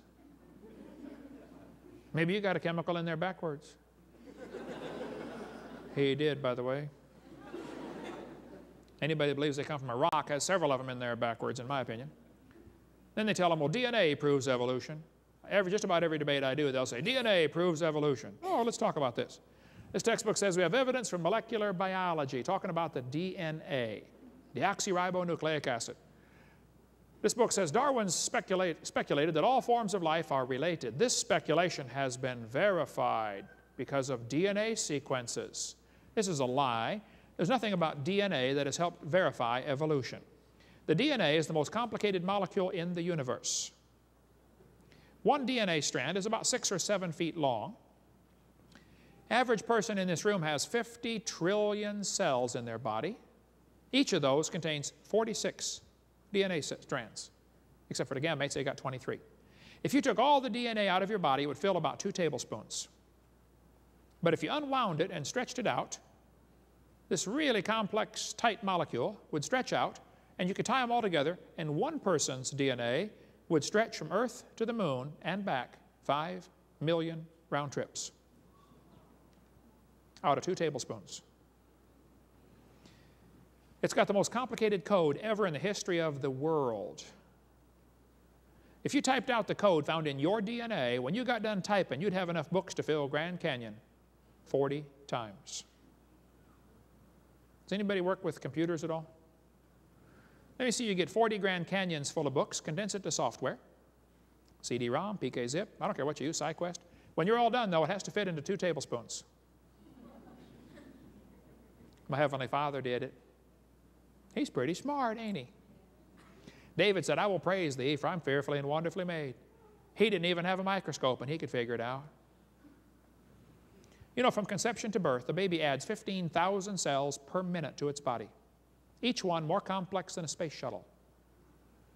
How would you like to be in charge of supplying materials for a factory that's producing 15,000 space shuttles a minute?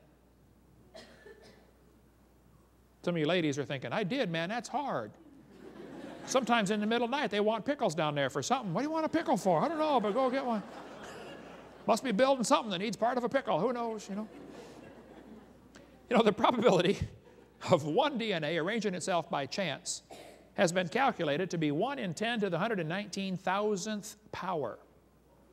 That's a big number when you consider the entire visible universe is 10 to the 28th inches in diameter. Big number. DNA does not prove evolution. DNA only shows how complex life is. You know, penicillin only has two chromosomes. Fruit flies have eight. I put together some critters and said, you know, I think I know how evolution really happened. Penicillin was first and it evolved to a fruit fly. And then it evolved to a tomato or a housefly. They're twins, you know, they both have 12 chromosomes. Very hard to tell the difference between those two. And then slowly over millions of years, they got some more chromosomes and became a pea. And then it evolved to a bee. Now here you can see the similarity. P, B, very similar. and then very slowly it evolved to lettuce. And over millions of years, finally, triplets were born. Did you know the possum, the redwood tree, and the kidney bean all have 22 chromosomes?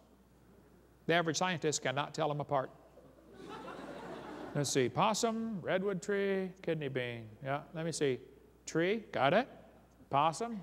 Oh, we got it, folks. There we go. And then slowly, over millions of years, we evolved to a human. Here we have 46.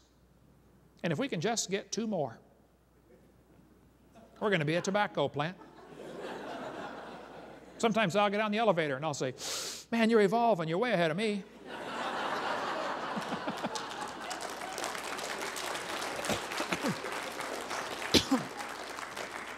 And of course, dogs and chickens are twins. Everybody knows that. They both have 78 chromosomes.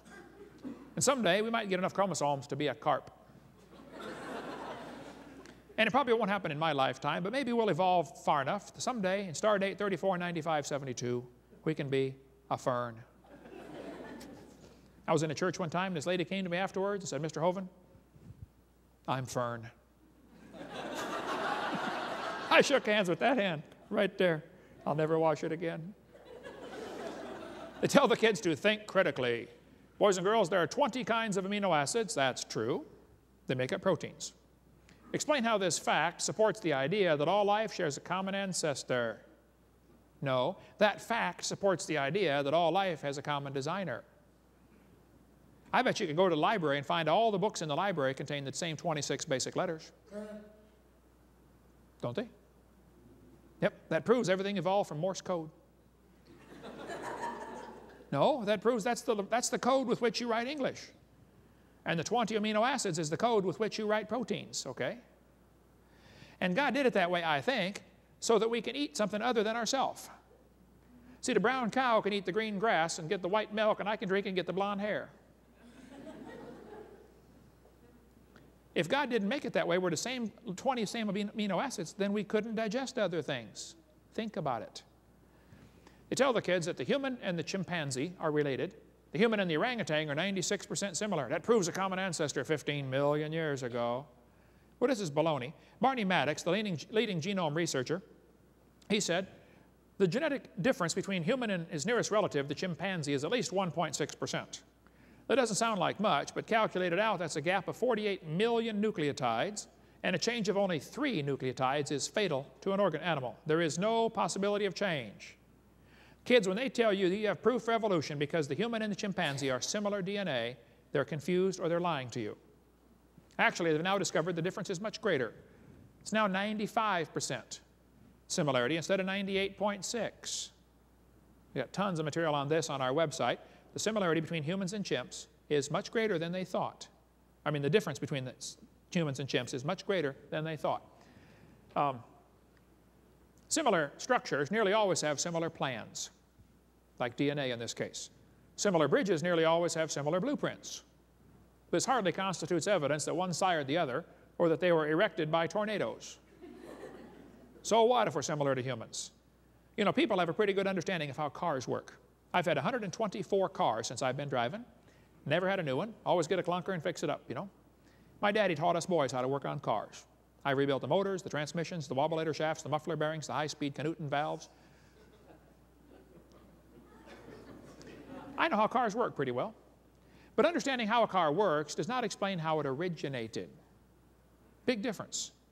Just because you know the operation has nothing to do with the origination.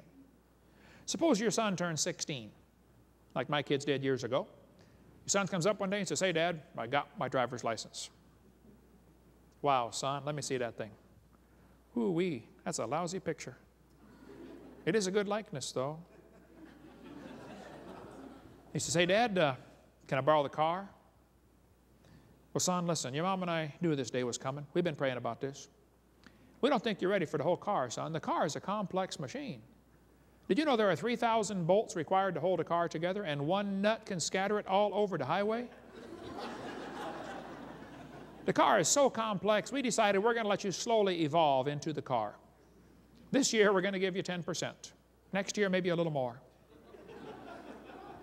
Question What good is 10% of a car? That's what you put in a junkyard, isn't it?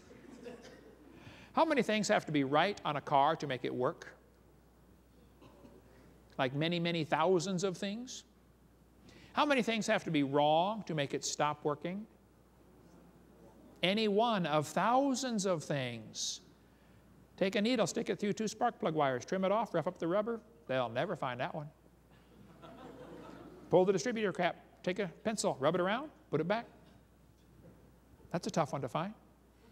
When somebody's getting married, Pull out the coil wire, stick a doorbell wire in there, shove it back, take the doorbell wire through the firewall, and weave it through the fabric of the front seat.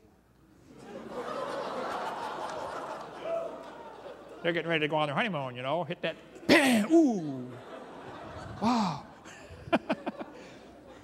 Don't get me started. We can go for hours. I like working on cars. Folks, complex things require a designer. And yet they tell the kids that humans and chimpanzees are similar. There are thousands of differences. But even if there are some similarities, so what? If you think the percentage of similarity proves something, let me show you the research I've been doing. I've discovered that clouds are 100% water. Watermelons are 97%. Only 3% difference. That proves watermelons evolved from clouds. and I discovered jellyfish are 98% water. And so are snow cones. that proves how they evolved. Mm-hmm. Then they tell the kids fossils prove evolution. This textbook says fossils provide evidence of evolution. This is a lie. No fossil counts as evidence for evolution. But the textbooks here says evolution is a fact. The fossil record provides some of the strongest evidence that species evolved over time. There is no fossil record. You don't look back in the fossil record, you look at fossils. You put your interpretation on them, okay? They don't have a date with them in a card that says this one was, you know, made 47 million years ago. There is no such thing as a fossil record. How do we fall for such a dumb idea? But the textbooks are always saying fossils can contribute to the understanding of evolution. Darwin said, if my theory be true, numberless intermediate fossils must have existed. Boy, there must be a bunch of them out there. I agree, Charlie, there ought to be a whole bunch. This book says, since Darwin, many links have been found. Well, they're dreaming. David Raup, who has a huge fossil collection, American Museum of Natural History, I believe, or Field Museum in Chicago, I forget which one he works at, I think it's New York. He said, in the years after Darwin, his advocates hoped to find predictable progressions, you know, missing links. In general, these have not been found. Yet the optimism has died hard and some pure fantasy has crept into textbooks. fantasy in the textbooks? You got to be kidding. Oh no. Evolution is based on fantasy. We could spend hours talking about there are no missing links. There just aren't, folks. These quotes are all on our website about how evolution is not supported by fossils. If you find a fossil in the dirt, all you know is it died. you can't prove it had any kids. And you sure can't prove it had different kids. And why would you think a bone from the dirt can do something animals today can't do? Hey, they say we evolved from an ape-like ancestor. Okay, apes are still having babies. Let's, let's do it again. I want to see it this time. We don't observe any evolution. Luther Sunderland wrote to major evolutionists all over and said, hey, where's the evidence for evolution? I want to see it. They all wrote back and said, we don't have it, somebody else has it. Colin Patterson has the access to the largest fossil collection in the world. British Museum, Natural History. Patterson wrote a book about evolution. So Luther read the book and said, hey, I read your book, Mr. Patterson, but you didn't show us any missing links. Where are they? Patterson said, I fully agree with your comments on the lack of evolutionary transitions in my book. If I knew of any, fossil or living, I would certainly have included them. I will lay it on the line. There is not one such fossil. See, folks, there's not a missing link. The whole chain is missing. So they got a new theory now to explain why they're missing. Stephen Gould said the absence of fossil evidence is a nagging problem for evolution. He knows there's no evidence for evolution, so he's got a new theory. He kind of brought up Goldschmidt's old theory that said maybe the first bird hatched from a reptile egg. Do what? He says, yeah, you know, maybe evolution happened so quickly that there's no evidence. Oh, well, that's good, you know. We don't have any proof, so that proves it. Try that one in a court of law, see how far you get. They tell the kids to think critically. Boys and girls, the fossil record shows that an organism evolved through many small changes over time. That's a lie, by the way. Which theory best describes organism's evolution? Gradualism or punctuated equilibria? How do you think it happened, boys and girls? Was it slow changes like Darwin said, or was it jumps like Stephen Gould said? In their mind, there's only two choices. Evolution happened slowly or evolution happened quickly. They do not seem to be capable of thinking outside the box. It didn't happen at all. God created the different kinds. I debated Pigliucci at University of Tennessee, Knoxville. Doc, I debated him twice. I don't know if I do it again. I'd be glad to, by the way, Doc, if you get ready. Get brave enough, let me know. Uh, I said, Dr. Pigliucci, you have studied and taught courses on the evolution of plants for 10 years. You received and spent $650,000 in grant money to study the evolution for plants. What is the best evidence you know of for evolution? I asked him that in the debate. He said, the evolution of whales. Just exactly what kind of plant is a whale anyway? Hmm? he told me the hippo is evidence for evolution because it's in the process of adapting to an aquatic way of life. It likes the water, so that's proof for evolution. He said the flying squirrel is evidence because it has half a wing. He gets tax dollars to, to teach. See, every evolutionist I've talked to thinks that the evidence is in somebody else's field. It's like a shell game. You ever seen those shell games? You know, they put the P down there and try to get you mixed up. Where's the P? The geologist thinks that the biologist has the evidence. Pigliucci is a botanist. He thinks that, you know, the anthropologist or somebody else has the evidence. They're all spreading the blame. Only problem is there's no P under any of them. There is no evidence for evolution. None. They tell the kids, we've got evidence from the horse evolution. This is a bunch of baloney. They arranged a bunch of animals in a fictitious order. It's been proven wrong 50 years ago. They don't tell the kids that the so-called ancient horse had 18 pairs of ribs, the next one had 15, the next one had 19, then back to 18. These are not even the same animal. It's a pure imagination arrangement of these creatures.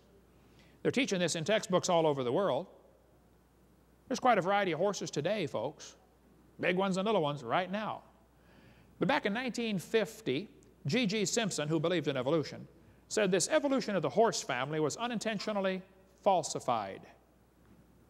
The evolution of the horse was all wrong. Over 50 years ago, it's proven wrong. It never happened in nature. Why do they keep putting it in the books? They say this example of the horse evolution has not held up under close examination. Othniel Marsh made up this whole idea in 1874.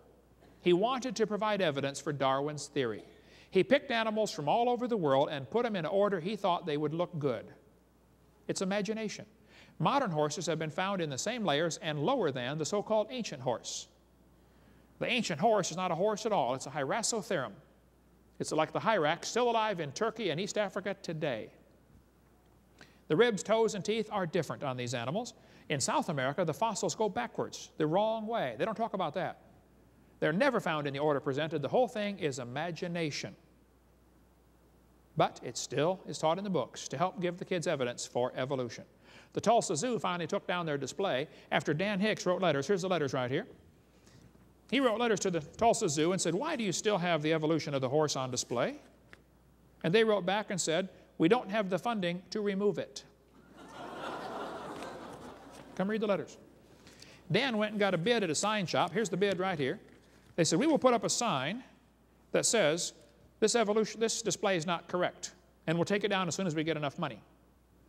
62 bucks for the sign. So Dan went, said, hey, here's the quote, fellas. I'll pay the 62 bucks. When would you like the sign delivered? Nothing happened. They said, we got to take this to the board. Well, the board got bored because they never did anything. Finally, he collected 2,000 signatures and said, get this display out of our zoo. When it made the evening news that the Tulsa Zoo was lying to the kids coming through, the display was gone the next day. but I just found out recently they put it back up. What's a zoo doing teaching evolution anyway? See, the evolutionists are pushing their religion at every tax-funded opportunity they can get. Peabody Museum still has the horse evolution on display.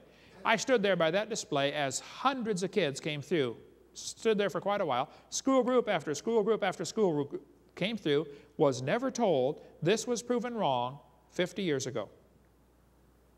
You go get the textbooks used in your county schools or your city schools. It's still in there, folks. It's not true.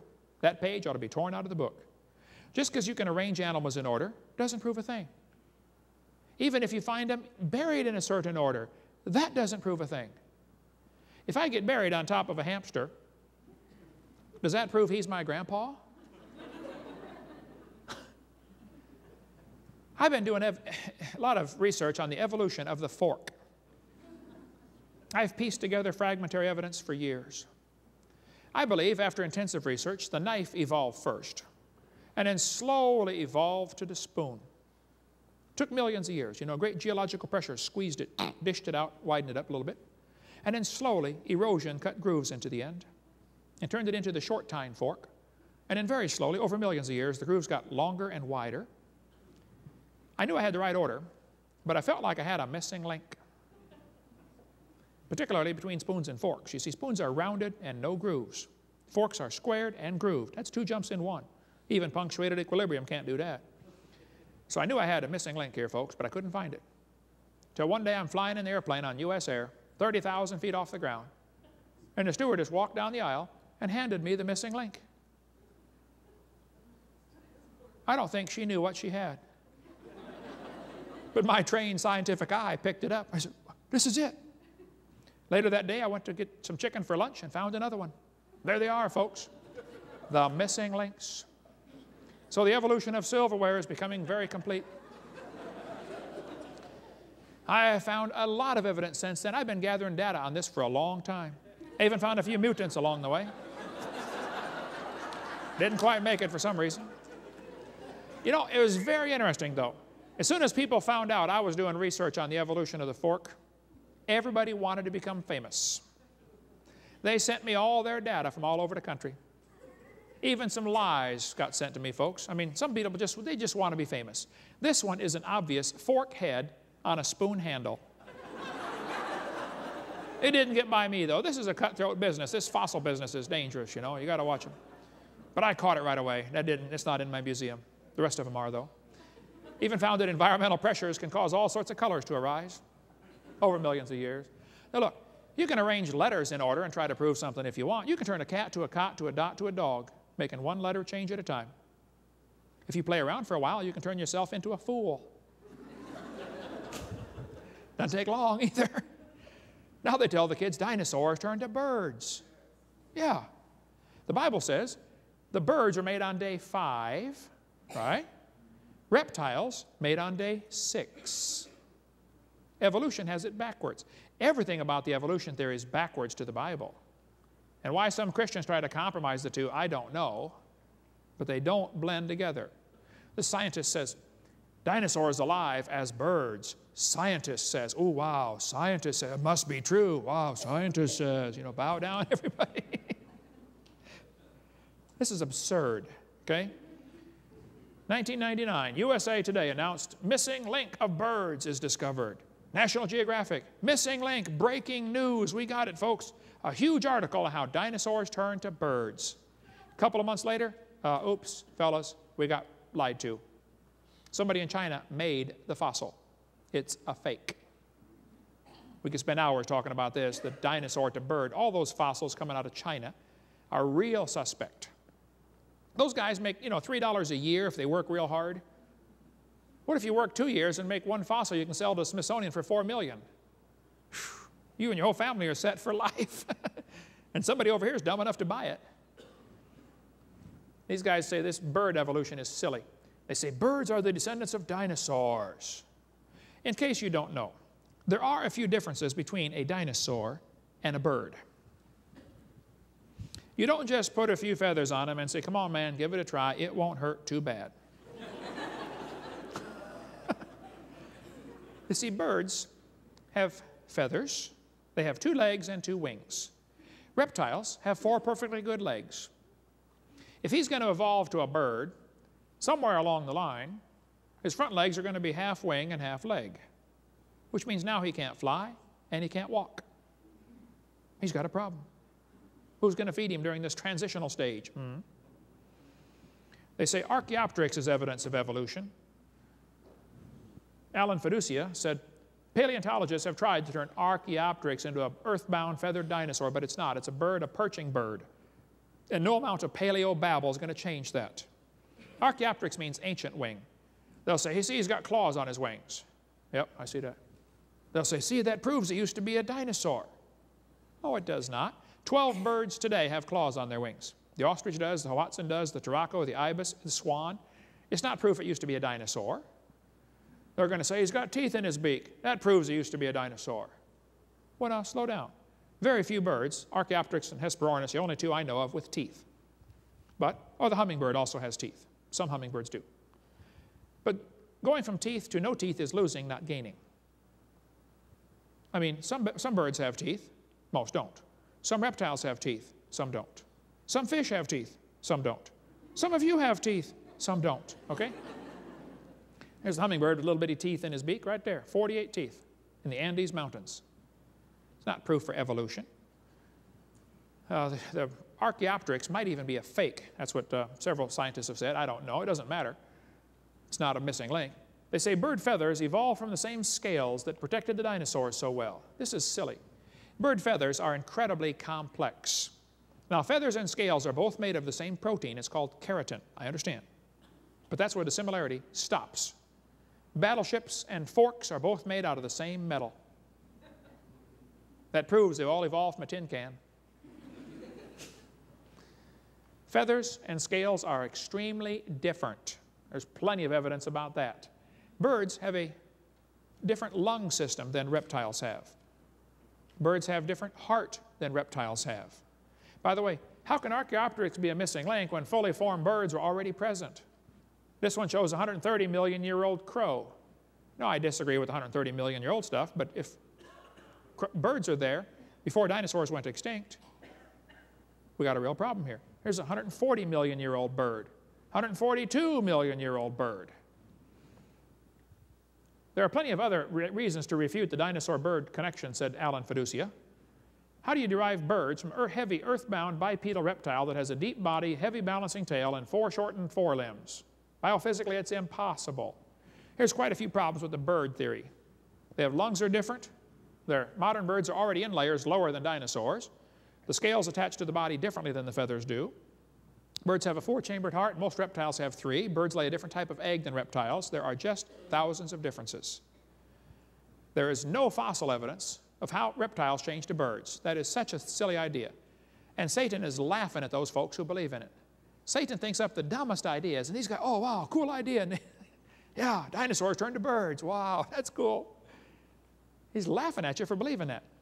Um, who's right, and what do we do? Richard Dawkins said, it's absolutely safe to say if you meet someone who claims not to believe in evolution, that person is ignorant, stupid, or insane, or wicked. He's open minded, isn't he? Jesus said, Thou shalt love the Lord thy God with all thy heart, with all thy soul, and with all thy mind. You don't have to lay your brain at the door when you go study God's Word. You just bring it along. Come now, let us reason together, saith the Lord. Look, the most reasonable thing is to believe God created this world. That is extremely reasonable. It's logical and intelligent to believe in a creator and in a young earth creation. I debated Ken Miller on the radio once. He wrote this book. He writes, he's professor of biology at, uh, in Rhode Island at Brown University.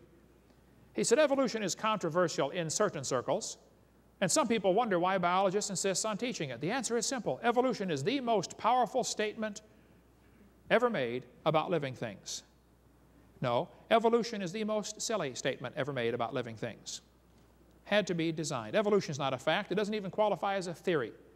It's a, not even a hypothesis. It's a metaphysical research program. It's not testable science, Karl Popper said. Julian Huxley, Thomas Huxley's grandson, said, I suppose the reason why we leapt at the origin of species was the idea of God interfered with our sexual mores. Oh, now we're getting to the truth.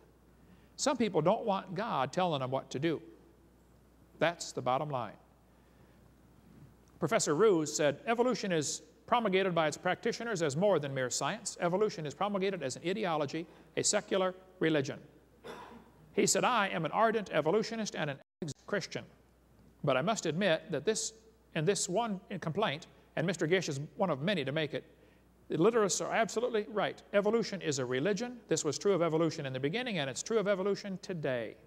Arthur Keith said evolution is unproved and unprovable. We believe it because the only alternative is special creation, and that is unthinkable. We don't want to think that maybe there might have been a creator. I agree with this guy. He said evolution is a fairy tale for grown-ups. The theory has helped nothing in the progress of science. It's useless. Muggeridge said, I'm convinced the theory of evolution will be one of the great jokes in the history books of the future. Tell you what, folks, it is a joke. It is silly, but it's effective. And Satan's been using this since the Garden of Eden when he said to Eve, Ye shall be as gods. That's what evolution's all about. You can evolve and progress and improve to godhood. It's rejecting the Creator and putting man in his place. The devil is a liar. He doesn't want you to go to heaven. These scientists that go around, go around teaching evolution are great con men. The story they are teaching may be the greatest hoax ever. In explaining evolution, we do not have one iota of fact. Fred Hoyle said, the only way life could get here is by a superintelligence having put it here. And then he turns around and said, see, this proves life came from outer space. jump, frog, jump. Pierre de Chardin, one of the guys responsible for the Piltdown hoax, said, Evolution is a postulate to which all theories, all hypotheses must henceforth bow in order to be thinkable and true. Evolution is a light which illuminates all facts. Well, sorry, Pierre, you're lying. God's Word is a light. Evolution is not a light. It destroys science. Hey, if a kid goes 12 to 16 years to school in your town, how's he going to view the world? Why would they lie and keep this in the books? Well, some people think that if everyone believes in evolution, it'll become true. You know, majority opinion. Some people think they must teach the lie to keep the paycheck coming in. Hey, if you go against evolution, you're likely to lose your job at a public school. Some people understand the bigger picture of how evolution is the formation, foundation for the New World Order. We cover lots more on that on part five. Why do they believe this? Well, some that's all they've been taught. I spoke in Russia, and all they have over there are the same evidences for evolution that we use over here.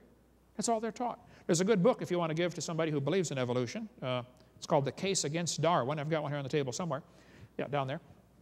That's a good uh, starter for those intelligent folks that just have time to read a short book. It's a real good one to get the message out. When I spoke in Russia, I spoke over there, and there were 30 professors in the room. I spoke for two hours on creation through a translator. After about an hour, one professor was crying. And I asked the interpreter, I said, uh, what's, he, what's he crying about? And she said, he's never heard the creation story. He didn't know there was one. He wants you to keep going. I got a missionary friend now that's begging for people to come to Africa. He said, Would you please send people over here because they can get into public. He said, I can get into five or six or seven public schools every day where they ask us, Would you please tell our kids how to get saved? Tell our kids the creation story. Please send somebody over here. A guy that I used to work with in Pensacola, been a missionary over there for years, just begging people to come. You can go to Russia tonight, and they'll let you into public schools over there and preach the gospel to them. We got Americans more worried about that paycheck coming in over here.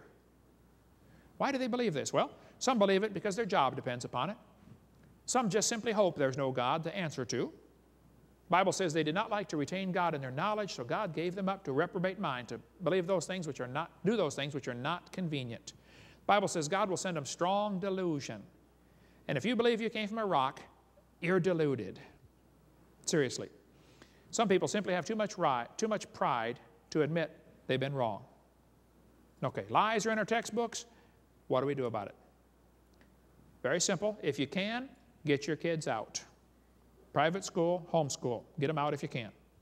If you can't, don't send your kids off unarmed because they're going to have corrupt stuff in their textbooks. Get them to know the truth. There are lots of practical things you can do. The Bible says we're the salt of the earth. Salt irritates. If nobody's irritated at you, you're probably not a good Christian. Okay, practical steps. Most teachers that I know are sincere, dedicated professionals. They are not the enemy. They're just simply teaching what they've been taught.